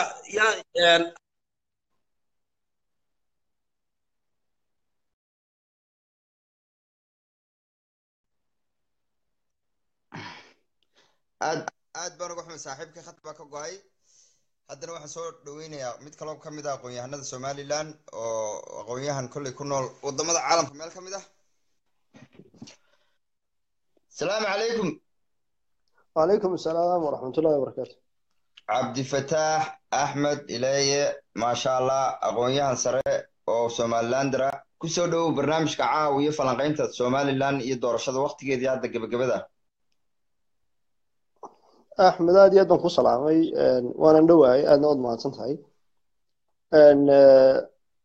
Horta somaliland si aad sheegayso weeye marka koowaad waxaan jecelahay horta inaan inaan inaan salaamo dhammaan dadka meeshan ku jira ee reer somaliland iyo inta kale ee soomaali ka soo jeeda ee laga yaabo inay daawanayaan ama ay la socdaan barnaamijkaba. Dadka waxaan horta u horreysiinayaa waxa weeye marka waktigan oo kale lagu jiro dadku u qaybsan yahay. Waxa laga yaaba dadku inuu xisbiyo u qaybsan yahay. Xisbiyadaa u qaybsan yahayna inay sabab u noqdaan in loo fahmo oo dadka in badan ay u fasirato in qof waliba mataqaanaaye ciddaa uu raacay ee uu xisbiga la yahay inuu ka tirsan yahay uun oo walaalnimadii guud iyo mujtamaca wada wadajirkiisii uu meesha ka baxay. Inay in badan isaa u fahamtaa laga yaabaa. Madalaha noocan ee lagu kulmayo ee laga yaabo inay dhalinyar iyo waayeel iyo magaranaysaye rag iyo dumar in la isugu yimaadana laga yaabo qolo waliba in qol yari u xidhan yahay. Qolkaa yar deetana ay isugu nacamleeyaan oo inta kala kacaayaan inta kalena qol kala samaysatay iyaguna qoladaa halkaa ka soo yara caayaan yacni nolol noocaas inay bilaabantaan la moodaa. Laakiin waxaan soo jeedinaynaa waxa weeye mar walba aan ku dadaalaynaa. Inaga oo xisbiyada maqsadka waxaan jecelahay horta inaan in halkaa iftiimiyo ujeeddada xisbiyadani horta waxay tahay ee loo samaystay. Raggan ka loolamaya exactly waxay yihiin iyo ujeeddada ay u socdaan marka koowaad labadaa shay markaynu isla garanaynu garanaynaa innaga maxayna kala kaxaynaya maxaasayna midaynaya? Si fiican marka xisbiyadan waxa loo sameeyey waxa weeye hal maqsad.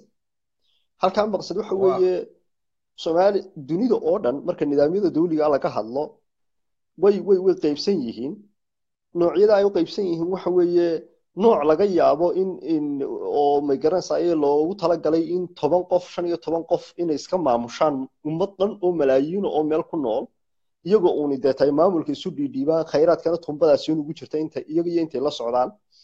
Qolo kale oo mataqaanaayey maamul kaloo dawliyo oo isagu hal xisbi oo keliya uu laga yaabo inuu maamulo halkaa xisbina inuu horboodo deetana waddanka uu sidaa ku maamulo oo nooca magaranaysa ay communiska la yidhaahdaa nidaam dimuqraadiya dimuqraadi macnaheedu waxa weeye in nooca dowladnimo ee mujtamacu uu yeelanayo hay'adihiisa magaranaysa ee dowladnimo inay ka yimaadaan mujtamaca. Abti khadar cadde dhammaantiin waan idin soo qabanayaa qof kastoo ku jira ayara suga markuu aqoonyahankan inoo dhammaysto waan idin soo qabanaya khadar caddiye dhammaantiin baan soo qabanaya caawa iyo falanqaynta somalilan badbaadada somalilan bay ka hadlaynaa soo dhowaada.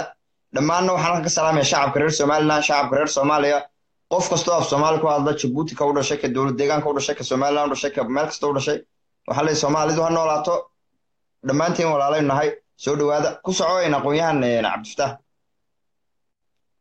marka aad baa maasantay axmed waxa weeyaan marka nidaamka dawliga dimuqraadiga ah ee kalimka somaliland isticmaalayso oo kale waxaa loogu talagalay in nidaamka dowladnimo iyo hay'adka dowladnimo la sameynaya inay ku dhisnaadaan heshiis bulsho oo ah ka constitutionkaynu maanta haysano kaa mujtamacu uu wada ogolaado deetana uu ku heshiiyo sidaynu awoodeena dowladnimo u samaysan ayaa madax inoo noqonay. Marka si mujtamaca guud loo soo bahaleeyo baa loogu talagalay in dadku uu galo aaraa inuu ku galo iyo afkaar inuu ku midoobo. Deetana afkaartaasi uu ku hirgeliyo waxa uu doonayo iyo nolosha uu doonayo mujtamaca inuu gaarsiiyo. Maqsadka horta magarasa xisbiyadu kuwaas wey marka reer somaliland horta inay sidaa u fahmaan baa laga rabaa. Waxa weeyaan meeshan looguma talagelin in lagu dagaalamo meeshan looguma talagelin in habra iyo islaama lagu lagu meele lagu mideeyo.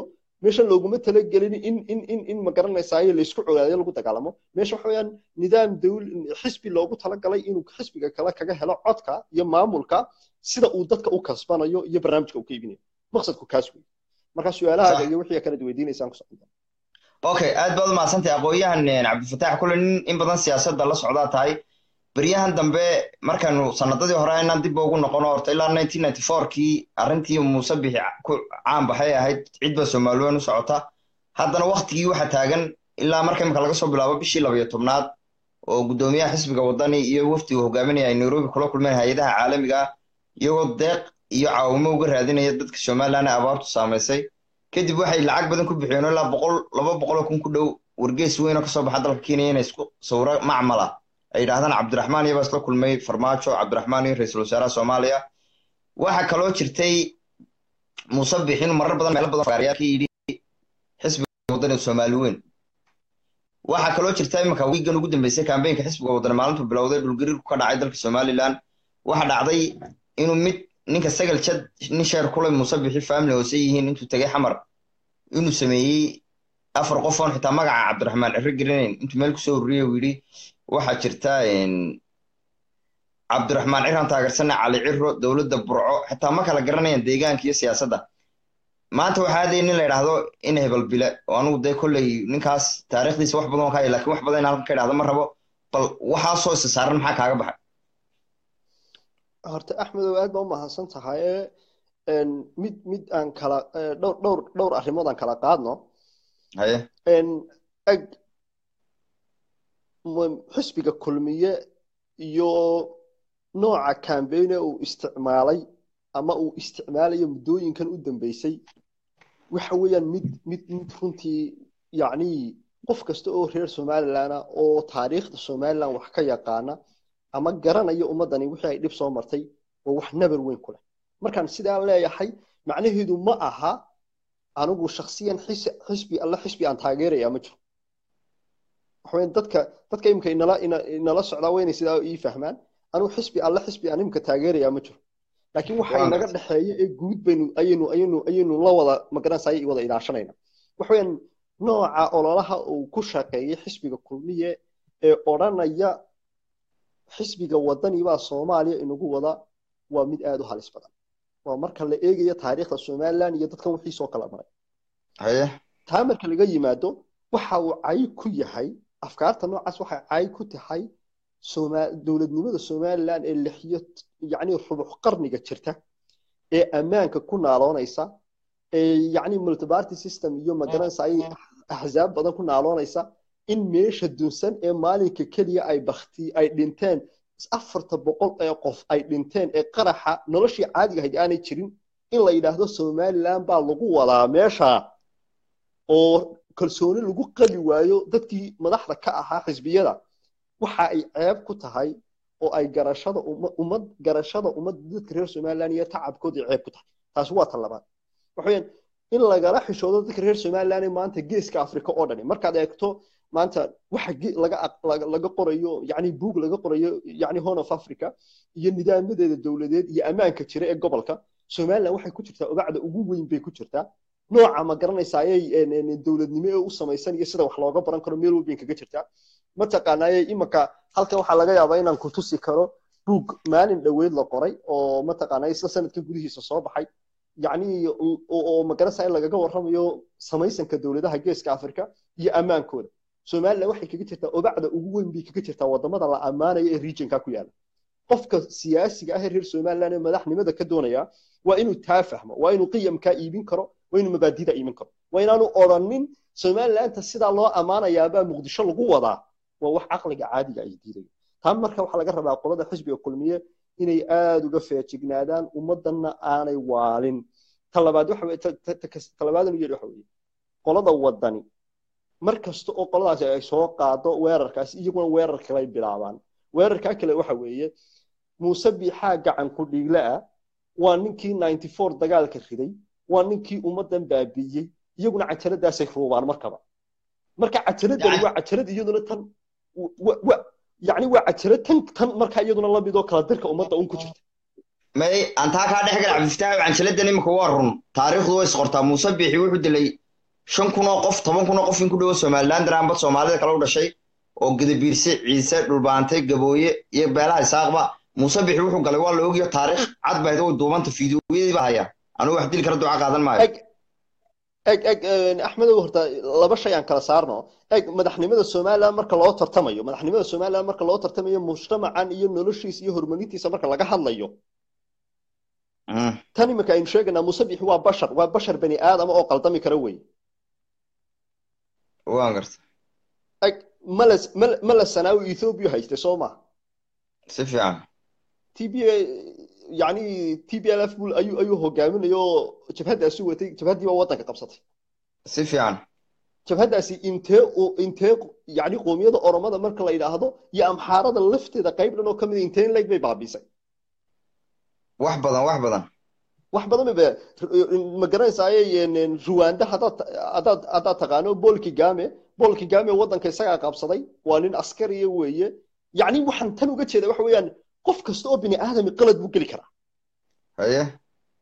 Yacni ummaddiisa inuu xukumo oo uu maamul u noqdo oo constitutionka somaliland yacni ogolaanshaha uu siiyey inuu tartamo wax doorto lana doorto kama saarayso meesha maalin buu qalad galay kama saarayso. Waan garta taa haddii dhinaca kale laga eego waddani maanta waxaa ku jira dhibtaa la leeyahay muusa ummadda geliyey kuwii dhinka kale ka jeeday baa iyaguna jooga waan garta marka taa macnaheedu waxa weeyaan waxani waa boog madow oo dadka reer somaliland oo dhan ku taala. Maaha wax muuse biixiyo keliyaata ku yaalla. Waan garta marka waxa weeyaan taa markaynu leenahay waxaan uga jeedaa uun maanta madax doorasho madaxtooyaa lagu jiraa muuse biixi waxaa la rabaa in lagula xisaabtamo saddex shay. Aniga aniga aniga aniga fikirkayga midda koobaad waxa weeye shakhsiyaddiisa muusanimo ciddii rogrogaysaa adigoo cabdilaahiya waad rogrogi kartaa waxaad odhan kartaa muuse biixi maxaan dhaqankiisa ka aqaanaa maxaan dadnimadiisa ka aqaanaa waxaa kalood barbar dhigi kartaa muuse biixi maxaan intuu somaliland gashaday ka aqaanaa deetana waxaad ku jaangoyn kartaa inaad tidhaahdo anigu muuse biixi xumaantiisa igala badatay wanaagiisa sidaas darteed ma dooranayo. Sax. Cirana sidaasoo kale kuwa kale qiimeynayana ciro inay sidaa ku qiimeeyaan. Shayga labaad ee kale waxa weeye barnaamij xisbi baa jira barnaamijka xisbiga ee jira waa in lagu eego oo la yidhaahdo maxaa maxaa laga qabanaya? Taa taasna qofku waynu ka duulo oo taw wax ku binaynaya waa inay taa noqoto. Si fiican. Labadaa wax ku binayntoodu axmedow adoo iga raaliya waan dheereeyeye waxay inoo dhalayaan laba shay. Waan garta. Ta koowaad waxa weeye muuse biixi maanta haddii colaad la tuso oo colaad la gashanayo ee la cadaabayo ee la tuujinayo la maroojinaya beritoole waxaa dhici karta inuu kii ummadda u qornaa ee madaxweynaha u noqon lahaa inuu yahay. Waan garta muxuu maxay ka filayaan? Kuwa kuwa kuwa maanta meel wal oo ay joogaan yacni share yacni doonaya inaanay sharaf bin aadamnimo inaanay u reebin doonaya maxay ka filan karaan muuse bixi cabdi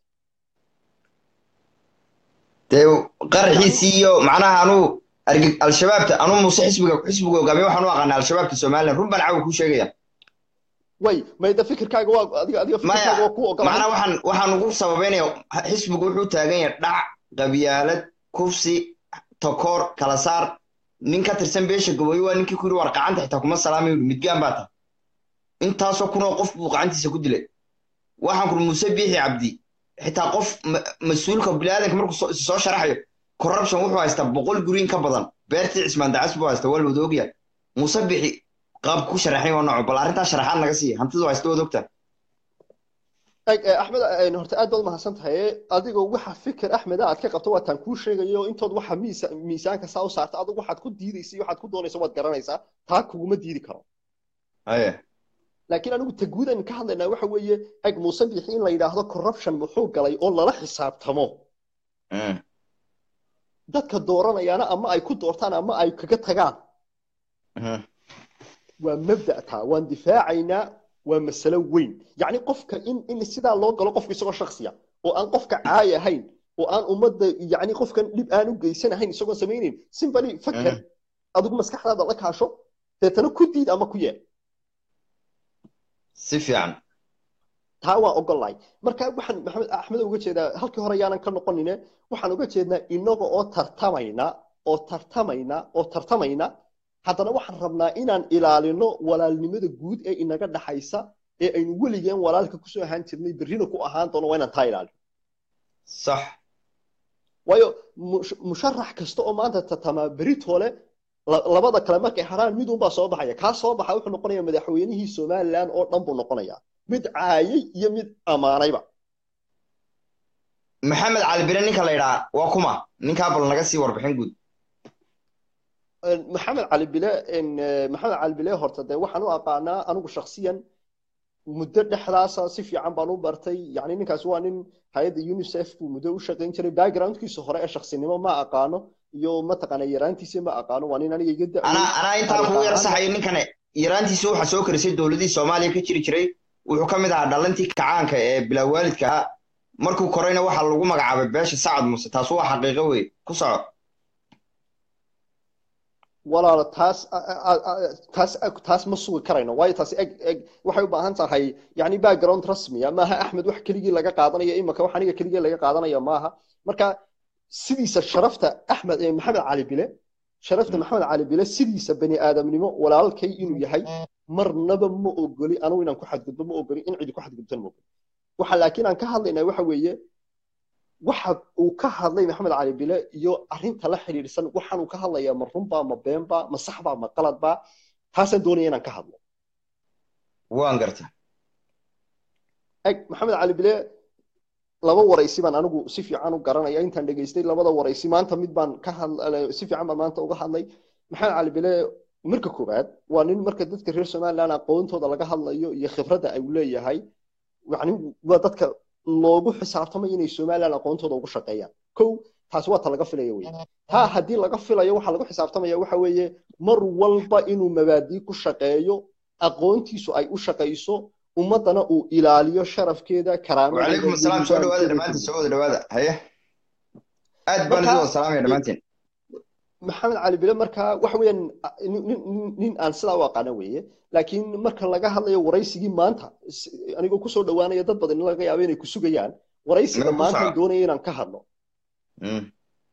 Waraysiga maantu anigu waxaan odhan karaa walaalkay anoo ixtiraamaya oo aan intaa in leeg oo sharaf dhaca aan u geysanayn.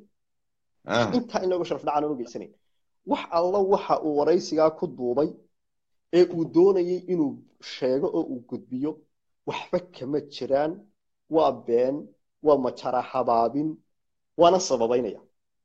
Si fiican ku soco waxaan ku sababaynaya walaale waxa weeye maxamed isagoo sharaf iga mudan oo walaal ka yahay marka la doonayo dood qofka markuu inu horta maqsadka uu waraysiga u bixiya hal shay buu ahaa. Waan gartay. Halkaa shay walaal wuxuu yahay maxamed inuu tuso waraaqda uu soo qoray la leeyahay waxaa soo qoray yuusuf garaad iyo warqadda la leeyahay yacni michael kating oo ergeyga gaarka ee qaramada midoobey soomaaliyaba u qoray madaxweyne farmaajo la leeyahay. Iyo kilibka la duubay ee waraysiga la leeyahay waxaa laga qaaday dad taageersan xisbiga wadani oo saddex ah. Iyo ta uu leeyahay ninka la yidhaahdo ii sheeg ninka la yidhaahdo walaal abti ii sheeg daahir cali sowba isaguna duubay oo xisbiga wadani ku taageeray. Waxaasoo dhan maxamed cali bile wuxuu u soo qaatay si uu u muujiyo inay dhab tahay ama ay dhab noqon karto xidhiirka u dhexeeya xisbiga wadani iyo dowladda soomaaliya. Si uu taa u muujiyo horta u soo qaatay wax alla waxaasoo dhan. Waan garta si haddaba aan u tilmaamo inay sax tahay iyo inay qalad tahay hadalkaa maxamed aniga oo aan sharaftiisa marnaba dhinac kaga dhacay. Simbali waxaan saxaynaa waxa weeye waxa uu sheegay ma saxba ma qalad baa su'aashaas baynu ka duulaynaa. Walaalnimada iyada iyo waxaa naga dhexeeya walaalnimo iyo sinaynu walaalan dhammaanteen lahay taa ku xadgudbi marka si aan taa u caddayno waxa weeyaan marka dood la sheegayo qof markuu dood bidanayo laba shay waa inuu iswaafajiyo axmedow. Si fiican. Midda koowaad waxa weeye shayga uu daliishanayo waa inuu waa inuu shayga uu daliishanaya waa inuu cad yahay xidhiidhna uu ka dhexeeya waxa uu doonayo inuu caddeeyo. Si fiican. Maxamed warqadda hore aan ka bilaabo ee la leeyahay waxaa qoray mataqaanaaye wasiirka arrimaha dibadda ee soomaaliya yuusuf garaad cumar. Walaalkii maxamed waraysiga laga qaaday laftiisa ayaa wuxuu ku leeyahay laba shay buu tilmaamaya. Midda koowaad axmedo waxay tahay inuu tilmaamayo oo uu leeyahay ii sheegay waraysigaasi sidiisaba. Uu leeyahay mataqaanaayey wuxuu yidhi warqaddu farsamadeeda farsamada ay u qoran tahay aniga shaksi ahaan maxamed ahaan siduu leeyahay siday warqaddu u qoran tahay farsamo ahaan way hoosaysaa. Macnaheedu waxa weeye wuxuu ku qancay wuxuu leeyahay waxaan ku qancay inay warqaddani been abuur tahay kow si fiican. Waxaa kaloo hadalkiisa ku kabayaa in yuusuf garaad cumar uu already been abuurka uu beeneeyey oo uu facebookiisa ku sheegay. Taasina waa laba. Wasiirka arrimaha dibadda ee soomaaliya. Soomaaliya inuu isna facebook ku sheegay inay warqadaasi been abuur tahay. Si fiican. Isagoo labadaaba qirsan walaalkay maxamed ayaa wuxuu yidhi haddana hadalka conclusionkiisi wuxuu yidhi somaliland in la soo weeraray oo la soo farigeliyey baan anigu ku qanacsanahayoon filayaa oo magaranaysayo somaliland la soo weeraray oo soomaaliya ay soo weerartay oo faragelin lagu sameeyey hadalka markaa waxaan weydiinaya waxa weeye. Yuusuf garaad cumar hadalka uu beeneeyey ee ninkii loo eedeynayaba uu beeneeyey adigoo maxamed cali baliina technically warqadda aad ku qanacsan tahay inay warqad been abuura tahay. Sideebaad u odhan kartaa? Waxa aan ku qanacsanahay in somaliland la soo weeraray. Ma waxa aad og tahay inay been yihiin baad ku qanacsan tahay in somaliland la soo weeraray? Waa hadal isdhaafsan oo aan meel haysan. Waan garta. Ta labaad waxa weeye uu tilmaamay waxa weeyaan michael kating yacni warqadda la leeyahay farmaajo u qoray oo uu uga jawaabayuu leeyahay yacni waxa waa in cunaqabatayn la saaraa madaxweyne siiraayo iyo muuse biixi sida uu maxamed cali bile u dhigayaani waxa weeye si xisbiga wadani u guulaysto saasuu u dhigay maxamed cali bile waan garta si uu war inoo tusa markaasi iyadana xidhiidhka wadani iyo soomaaliya iyo warqadda ka dhexeeyan wuxuu qodob doodood ka dhigtay uu caddaymo ka dhigay. Wuxuu yidhi farsamo ahaan warqaddu aad si fiican bay u qoran tahay waa farsamo farsamada warqaddu ay qoranta waa mid sarreeya. Macnaheedu wuxuu uga jeedaa maadaama farsamadiisu sarreyso michael katy baa qori kara waan garta. Taa horta sabab buu ka dhigay. Ta labaad uu tilmaamay waxa maxaa cali bile oo afkiisa ka cad oo waraysiga cidda daawataana ay garanaysaa maxamed wuxuu yidhi warqadani inay run tahay iyo inay been tahay midna ma caddayn karo. Waan garta. Maadaama maxamed uu ogol yahay inuu run tahay iyo inay been tahay inaanu caddayn karin waxaan ku kabayaayo laakiin isagu uu ka tegey maxamed waxaan laakiin halkaa hadalkaa daawadayaasha iyo adigaba waxaan waxaan aad hoosta uga xariiqaya waxa weeye. Ducaysana waan soo qabanaya niyo dhammaantii waan soo qabanaya aqoon-yahankeenu yara dhegeysananaa wax badan oo cilmi ku salaasan buu inoo sheegayaa. Yara suga inoo wad cabdifitaaxo waxaan waxaan waxaan doonaya halkaa ina hoosta ka xariiqo. Maxamed cali bilana walaalkayna aad aan ugu dhaliishanahay. Aqoontiisana aad ay ugu dhaliishan tahay waa haddii aqoonta uu ka duulaya ay tahay aqoontii caadiga ahayd ee qofka bini aadamka ah xorka ka dhigaysay sax. Maxamed wuu garanayaa warqadda social mediaha wareegaysa fayga ah soo qaada wuu garanayaa. Si fiican. Caddaynteeda la beeneeyey yuusuf garaad uu beeneeyey soo qaadana wuu diidayaa. Waan garta sidoo kale warqadda kate ergeyga qaramada midoobe soomaaliya oo la leeyahay wuu qoray uu leeyahay farsamadeedaa sarraysay uu leeyahay ma garanayo run iyo been waxay tahay. Maxamed waxa kaloo uu diidayaa oo reer unisom facebookooda waxay ku baahiyeen inay warqadaasi been abuur tahay twitterkoodana way ku baahiyeen. Si fiican. Haddii maxamed markaa aqoontiisu ay tahay aqoonta caadiga ah wuu garanayaa tafayga abag soo hel wuu garanayaae muxuu u garan waayey ta been abuurka lagu beeniyey soo hel oo garo. Maxay tahay aqoon-yahan cabdifatax cadhada markaa ninka ka muuqata markuu xitaa warbaahinta la hadlayo dhidid badan baa ka daaya wejigiisa uu isbedelaya maxamed calbiro waan garanayaa marar badan baan warbaahinta ka arki jiray ambaan arkay nin caadi u ahaa laakiin hadda ciil badan baa ka muuqda. Waxyaaba culayska ku keenay maxay kula muuqataa? Maxaa xisbiga intii kaambeynku bilowday xisbiga kulmiyey saraakiishiisa uu muuse biixiye maxamed cali bile iyo shaksiyad noocaas waxyaaba murugada ku keenay maxay kula muuqataa adiga maxaa dhibka ku keena. Waxa weeyaan dhibta ugu weyn baan aabti kuu sheegayaa. Midhkaasaan aan jeclay inaan ku soo ururiyo maadaama tiim badan ay ku sugayaan meeshaa socahaye maxamed cali midha ka dhadidinaysaan kuu sheegay waana yani waana physically waxyaabaa lagu garto qofku inuu inuu inuu inuu xaaladiisa caadigaa ka gudbay. Haye qofku marka uu aqoon u nisbe maxamed cali bila inagu xaniimkaaynu sheegayna maxamed cali bila caadi buu garanaya si fiican. Waa nin aniga iga aqoon badan waa nin aniga iga khibrad badan. Si fiican. Si fiican buu u garanaya waxaanaynu ka hadlayna waan gartay laakiin xorriyaddii maskaxdiisa ayaa ayaa la iibsaday. Waan gartay isaga oo is og inuu been sheegayo ayuu hadlaya taasaa ka dhadidinaysa waan gartay hadda hadalkayga u fiirsada waa iga dhabo wallaahia inaanan walaalkay intaa in la ku xadgudbay. Macnaha beentu sheegaya ka dhididinaysa indhaadayga isagoo is og inuu been ku hadlayo isagoo is og inuu waddo qaldan ku socdo ayuu hadlayaa oo uu ku raali gelinayaa. Muuse biixi iyo xisbiga kulmiyuu doonaya inuu raali geliyo. Taasaa psychologically dhabaysa waanuu isgaranayaa isagu. Maxaad ka xasuusataa kolley ina yar baad berigaas laakiin haddana taariikhda maxaad ka xasuusataa wallahi horta nineteen inan yar waan iska ahaa laakiin waxa ugu weyne horta nineteen ninety jira waxa weeye ummad reer somaliland oo baaba'day sawirka guuda jira waa kaas weeye dad walaala ah iyo rag soo wada dhintay oo ummaddoodii ugu jiray duur laga bilaabo kun iyo sagaal boqol iyo afar sideetankii ilaa iyo kun iyo sagaal boqol iyo kob sideetankii duurka ugu jiray inay markii ay ummaddoodii ay u shaqayn lahaayeen inay dib isu cuneen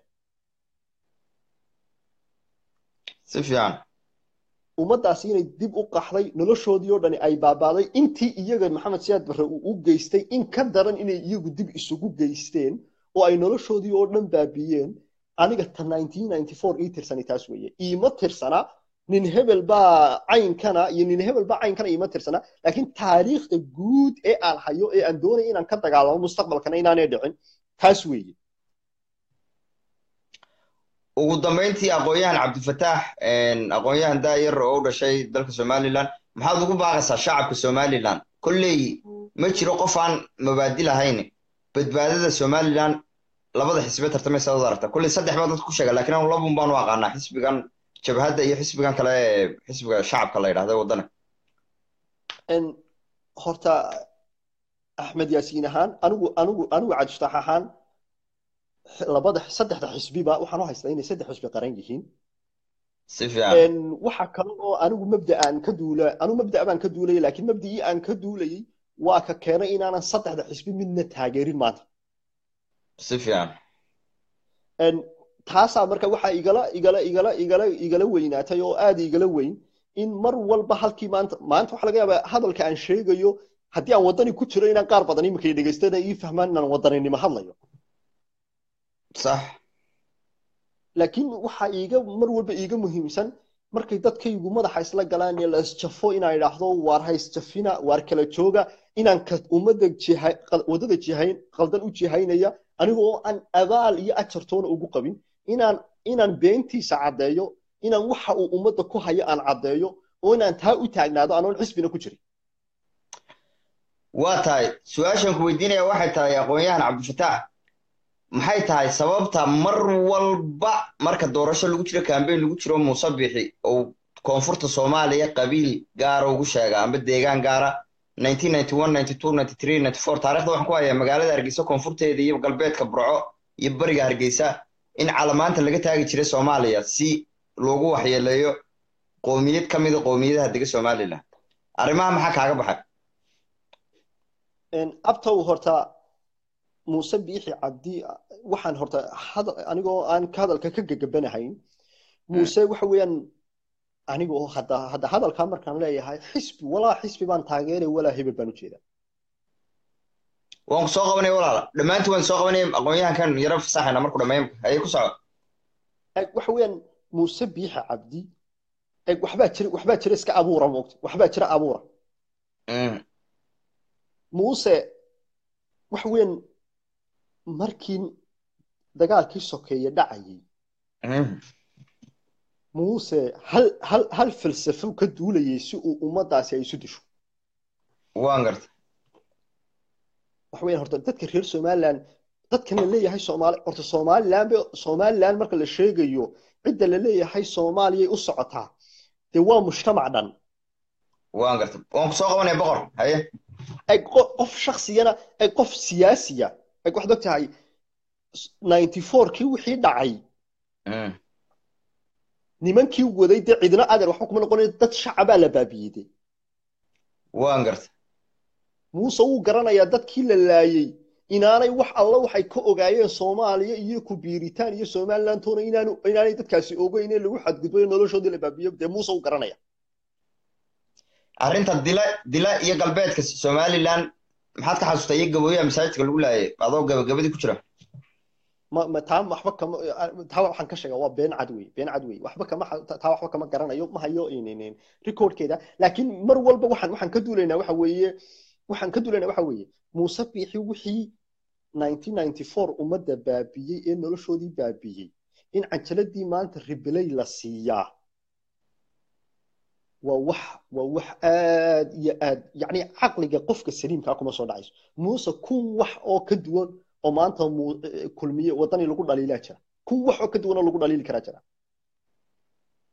Yacni sabab loo yidhaahdo soomaaliya loo socdaa soomaaliyadu waa taa baabacsanay maanta laga soo yaacayo shanta afarta boqol ee qof maalin keliya dhimanayaan muusena wuu og yahay inaan cid muuse wuu og yahay cid soomaaliya u socota inaanay jirin. Axmedow aan intaa kugu soo koobo.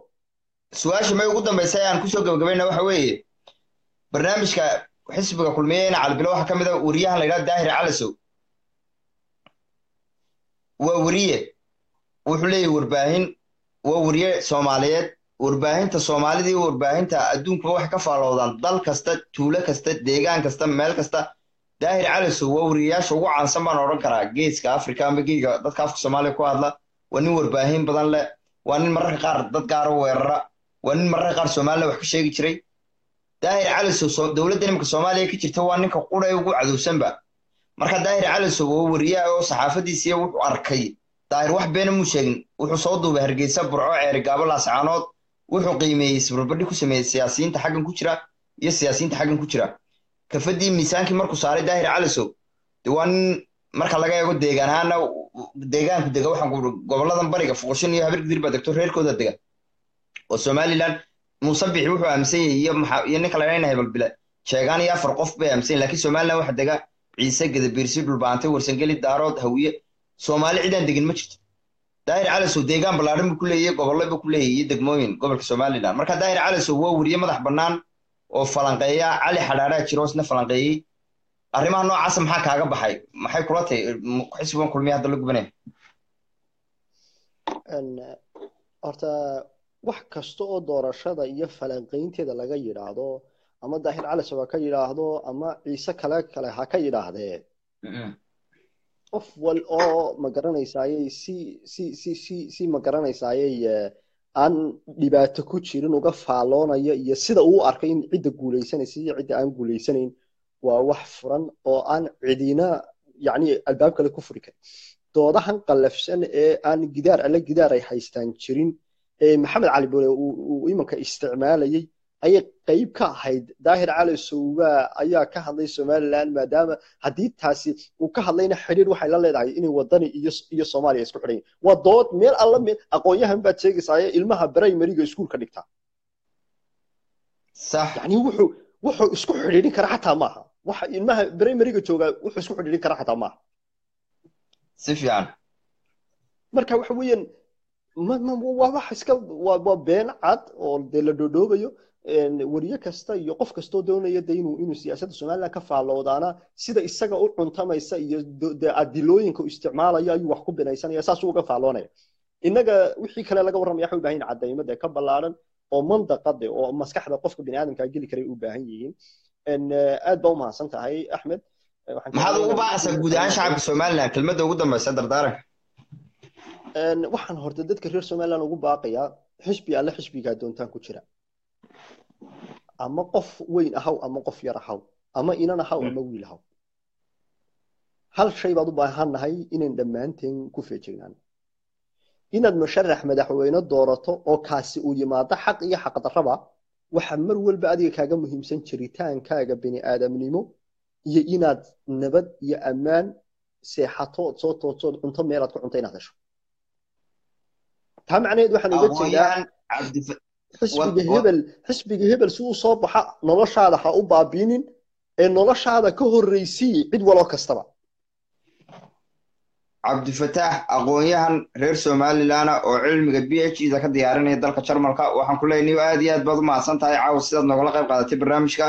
Dee taladaa iyo waaynadaa dadka u soo jeedsana ajar iyo xasanaadan la soo koobi karin allah kaas iyo waktigaadna siisan waan kaaga mahad celinaynaa insha allah waqtiyo kalen ku kulmi doonaa. Inta doorashadu socoto dee aad baad u mahadsantahay aqoon-yahan cabdifataax aad iyo aad baa mahadsantahay axmed. Salaam calaykum asalaamu calaykum dhegaystayaal saaxib yaal dhammaantiin meel kasta joogtaan waxaad leeyahay daawashadiina waad ku mahadsantihiin dhegaysigiina aad waktigana siiseen waan idinka mahad celinayaa sidii loo soo kala horreeyey boqorka waan soo qabanayaa. Guud ahaantii waan soo wada qabanaya barnaamijkana inoo sheergareeya ninka odayga ahaaye inta badan ii soo qoraya saaxiibkaygii lahaa soo qabamee ducaysane waa kana waa kan ducaysane ku soo dhufanaynaa dhammaantiin waan soo wada qabanaya soo taagta soo taagta gacanta soo wada taagta falanqada caawa iyo khudbadii asalaamu calaykum waraxmatullahi wabarakaatu walaalkay axmed? Aad iyo aad baad umahadsantahay inaad aqoon-yahankaynu dhegeysanayna cabaar adigana waqtigaagan ku siinayaa dadka kalena waan siin doonaa hore ugu soco walaal dadku horta dhammaan waa wada aqoon-yahan. Waxa ku daawanaya dad aad u fara badan baa ku daawanaya. Waxa wanaagsan qof walba inaad siisid waqti ayaa wanaagsan. Qofka ugu badan inaad siinaysid waqti ha noqdo qof inaad siisid toban mirir inaad siisid baa wanaagsan. Si fiican. Inaad allahuma salli calaa maxamed barnaamijka daadaahinaysa barnaamij aad u wanaagsan.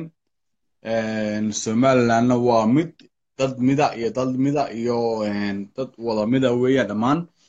Allahuma salli calaa maxamed anigu horta xusbi aan taageersanay ma jirto laakiin xusbigu ilaahay subxaana wa tacaala u qoro ayuunbaa soo baxaa waan gartay wax la yidhahdo mujaahidna ma jiro. Wax la yidhaahdo soomaaliya ayuu dadka u wadaana ma jiro. Laakiin kii ku guulaysta ilaahay subxaana wa tacaala ayaa qora dadka war sheergareye barnaamijka inoo gudbiya khayr baa laga hadlayaa. Waxaa muxaadarada inoo jeedinaya maarata walaalkan ducaysane ku soco walaal ku soco khayr allah kaasi aad u wanaagsan dadka si fiican buu qof walba u ixtiraamayaa oo barnaamijka u weydiinayaa haye boqor adaan kugu xisiinaya boqorow haye. Anigu somalilander baanay somaliland baan ka soo jeedaa waxaan ka soo jeedaa bari baan ka soo jeedaa ha noqoto qabyaalad ahaan ama cidda doonto ha noqoto waxaan ka soo jeedaa ciraan ka soo jeedaa ama beesha garxajis baan ka soo jeedaa ciddaan doonahan ka soo jeedo midnimada soomaaliya saad u arataa horta soomaaliya taas meel naga dhig soomaaliya waa dad jaaranay waa dad walaalnimo naga dhexayso waa dad aan jeeraan nahay waa dad dhibaato haysto ilaahayga dhibaatadooda ka dulqaado ilaahay dowlad rasmiya ha u sameeyo aamin aamin ya rabbi aamin aamin inagana alxamdulilah rabbilcaalamiin ilaahay heybad buuna siiyey dowladnimo buuna siiyey sharaf buuna siiyey maanta saddex nin sharaxan. Waa saddex noo ilmaadeera meel bay ka soo wada jeedaan. Alxamdulilah rabbilcaalamiin horta kii guulaystaa waa alxamdulilah rabbilcaalamiin waan garta kii waxaa la yidhi hooyadaa ninka qaba adiga ku dhalan muxuu ku bay idhahdaan moogtay axmed aad baan dii salaamay dhammaantiin soo dhawaada soo dhawaada aad baad umahadsantiin daawashadiina waqtigaadna siisaan waa alxamdulilah rabbilcaalamiin hadduu maanta cira ku guulaysto iyo hadduu ku guulaysto muuse biixi hadduu ku guulaysto faysal cali waraawe alxamdulilah rabbilcaalamiin kii ku guulaysto horta waa maasha allah muuse biixi waa kuma laakiin mujaahid wuxuu ahaa khaalid bin waliid cumar bin khadaab radi allahu canhu dadkii nin walba qori qaata haddii la idhahdo mujaahid taas horta ma wanaagsana waan garta amba mujaahid baan ahaa markaan hargeysa joogay haye laakiin mujaahilnimadu ma wanaagsana qofku inuu idhahdo qof walba mujaahid hebel mujaahid hebel mujaahid hebel ka qori qaataa aniga laftigeen kula hadlaya mujaahid baan ahaa laakiin ku dhihi maayo mujaahid halkaasaan ka ahaa xaafadaasaan ka ahaa saasaan ka ahaa qof walba oo mujaahid xaafadda isbaaradu ku talaaday ninka idhahda haddaa duca duca qaada maano qori haysta duca qaada maayo ninka idhahda waa mujaahid buu noqdaa markuu doono ma fahanti si fiican. Laakiin waxa wanaagsan dadku inay is ixtiraamaan oo fadeexadda iska daayaan oo meediyaha iska daayaan. Kii ku guulaysta haddii aan maanta ahaadan lahaa faysal cali waraawe amaan ahaan lahaa muuse biixi ama ahaan lahaa injineer cabdiraxmaan ciro waxaan samayn lahaa tanaasud baan samayn waxaan dhigaa waxaan u tanaasuday walaalkay cabdiraxmaan waxaan u tanaasuday walaalkay faysal. Laakiin ma wanaagsana dad midah oo iyo dad iyo dad dal midah inay laftigoogu isku mariyaan fadeexad oo idhahdaan soomaaliyaan doonaynaa oo dad inta lacag la siiyo la idhaahdo soomaaliya aado calanka wadaneed qaata. Ma fiicna? Maxaad iiga sheegi kartaa dhulkan hantidan badan la sheega musabix inuu dadka guryaha ka haysto inuu beerta cismaandacad haysto inuu dad badan lahayo maxaad kala socotaa wararka? Horta anigu hargeysa markaan joogay waxaa la dhihi jiray nin wax badan og ciddii garanaysun baa garanaysa waan garta anigu muuse biixi waa nin maanta musharaxa oo haddii aan been ka sheego waa dembi. Laakiin way jirtaa waxna way ma jiraan. Qof dadku wuxuu ku dacaadeeyaan dadku waxna way sheegaan waxna ma sheegaan.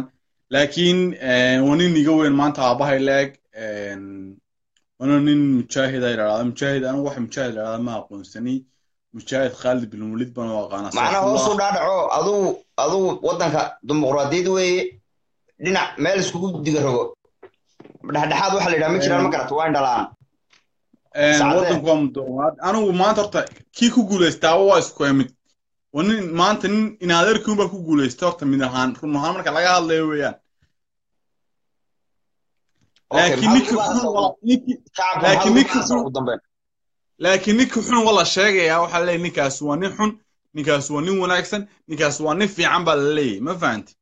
Sheeg sheeg. Yaa markaa xun yaa se wanaagsan musharaxiinta somaliland. Meeshan barnaamijka waxaan rabnaa in dadka wacyigelino doorashaa socota waanay wadna. Ilaa ajar baynu ka helaynaa. Caawa markaynu sheegno dadku muuse laayey hantiduu dhacay dadku xasuuqay dadku layn doono. Dadku labada kun iyo sideed iyo tobankii sagaal iyo tobankii labaatanka layn doono. Markaynu muuse sheegno ilaahay baa ajar inagu qoraya ku soco. Horta muuse biixi dad agoona dhulkoogii iyo guryahoogii iyo hantidoodu u haystaa taa cid walba way ogtay. Sax. Ma fahanti? Laakiin cid badan oo jijiga yar maasoor dawadeeda marka kanaanka toota la maraya baamaroma xagga midig kaa qabato dhulal badan oo dad agoona lahaayeen istaanka basaska jijigeer meesha ka baxaan waxaas dhan isagaa sheegta waa la ogi taa. Taas dhibaato taas been maaha. Cismaan dacas ku dar taliyii hore ciidanka somaliland ninka beesha habar jeclo dhashay markii buurta kala jeexan la dhaafo xagga midig waddada kaa qabata dhul badan oo agoon leedahay oo cid walba leh haddii leedahay somalilander oo dhan leeyihiin haddii samaron leedahay iyo haddii hawrons leedahay hawrons ama cilagala leeyahay ama arab leeyahay ama ayub leeyahay ama cid walba leedahay inta somaliland degta hadday wada leeyihiin dhul badan oo leeyihiin oo ku yaalla buurta kala jeexa dhinaca midig marka kaa qabato intaadan iskuulka ilays gaadhin istabtana aad gaadhin waxaa jirta dhul agoon leedahay oo agoontaas waa lix caruura ka ugu weyn wax weeyaan maanta waa shan labaatan jir.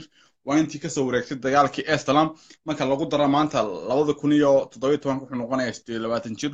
Waa in eurobiyaa weeyaan. Hantidiisii iyo dhulkiisii waxaa la wareegay mujaahid muuse biixi xoogna uu sheegtay. Intaanu shaanida qarxin jirin bay ahayd. Intaanu markii uu la tirtamayey mujaahidka madaxweynena maanta inoo ah ninkaas waa nin aan maanta waxaan ka sheegi karnaa haddaan maanta dhibaato ka sheegno ama xumaan ka sheegno afkaana qolaacanayo ninkaas waa mujaahidka la sheegaa waa waa siiraanyo ma fahanti? Dad dad kulaaye maxaad ka xasuusataa marka ugu dambayntii dad kulaaye beelaha samaroon iyo beelaha beelaha isaaq ka mid ah. Abtiyaashii buu laayay cilagalaa dhalay abtiyaashii bay ahaayeen. Kuwu leynayey haye. Oo cid walba le ab kuwii uu naaskiisa jaqay buu leynayay oo abtiyaashii buu haayo uu lahaa maanta anagoo qori qaadanaya duca ma qaadanayo ba ahaado abtiyaashii buu leynayay cid walba way leynaysa cid walba way ogtay taa ma fahanti. Si fiican. Oo abtiyaashii in hebel farlaab la idhaahdo degan xaafadda total oo caan ah oo abubakar muuse aan u malaynaya ama reer guulada haa baan u malaynaya oo ninkaas abtigii ruma weeyaan dhegtu jara dhegta dhegta. Waan garta marka wallahi waxyaabo way iska badantay hawshu way iska badantay. Maanta hadduu ciddii dooranaysa ama ciddii garanaysa garanayso anigu waxaan kula talin lahaa inaanan maanta muuse biixi wax cooda ama wax taageera ama wax ololaa aan siin baan la dhihaa maanta waxaa la qaatay isagoo iyagoo siiya maxay ahayd feesa cadawaraabe ninkaas waa nin waxaa hala badnaa qalbigiisu waa saafi. Haddii laakiin la doonay dad mida iyo dal mida hala siiyaan dhiha anigu run ninkaa iska maskiinta daacadda ku soo waday ee xusbiga waddani. Dhibaatahani cidna u sheegan labayo tobanka sabaniga ku fadhiyey kursiga aan xumaan. Dadku waxay ku ducaydeen qosolka qosolka qosolku qosol ilaah heybadu ilaahay bixiye weeyaan subxaana wa ninka hebel guri la idhaahdo isaguna mujaahidka sheegtaa ilaahay heybad wuxuu siiyey in dadka caayo.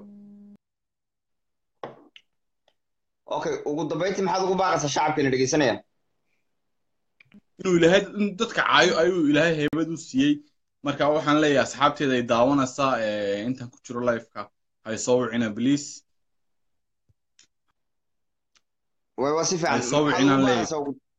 ugu maxaad waa mid wixii dantani igu jirta. Maanta waxaa laga caawanayaa iskuulkii. Riis baa la iibiyey ama sheekh bashiir baa la iibinayaa ama waxaa la iibinayaa maxay ahayd iskuulkii lix iyo labaatanka jun waxaas dani maaha. Maanta waxaan nii daaqaya nasiin.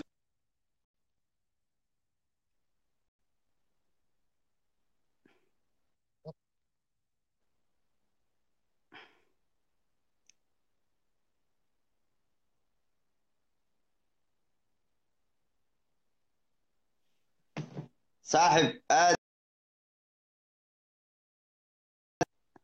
aad baan uga xumay wiilkii telefoonka lagu soo wareeriyey. Soo tago qofka nagasta ku xiga insha allah laba qof kalaan siinaya barnaamijka waan soo gabagabeynaya muddo dheer baan ku jiray. Aad iyo aad baad u mahadsantihiin somaliland ha noolaato dhammaan soomaaliya ha noolaato shacabka soomaaliyeed allah ha barakeeyo meel kastoo joogtaan guuliyo gobonimo idiin rajeynayaa waan kay cabdi baan soo qabanaya isagana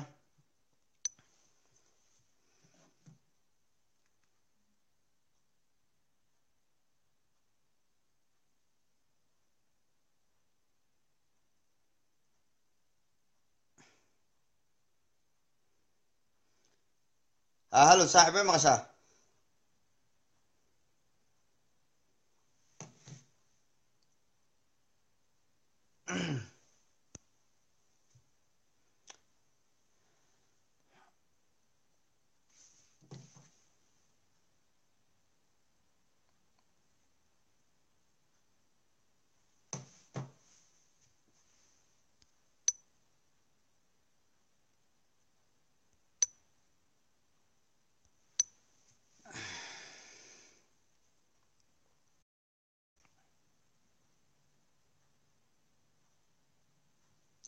soo dhawaada soo dhawaada asxaabay asxaabay daawashadiina waad ku mahadsantihiin aad baan idinka mahad celinayaa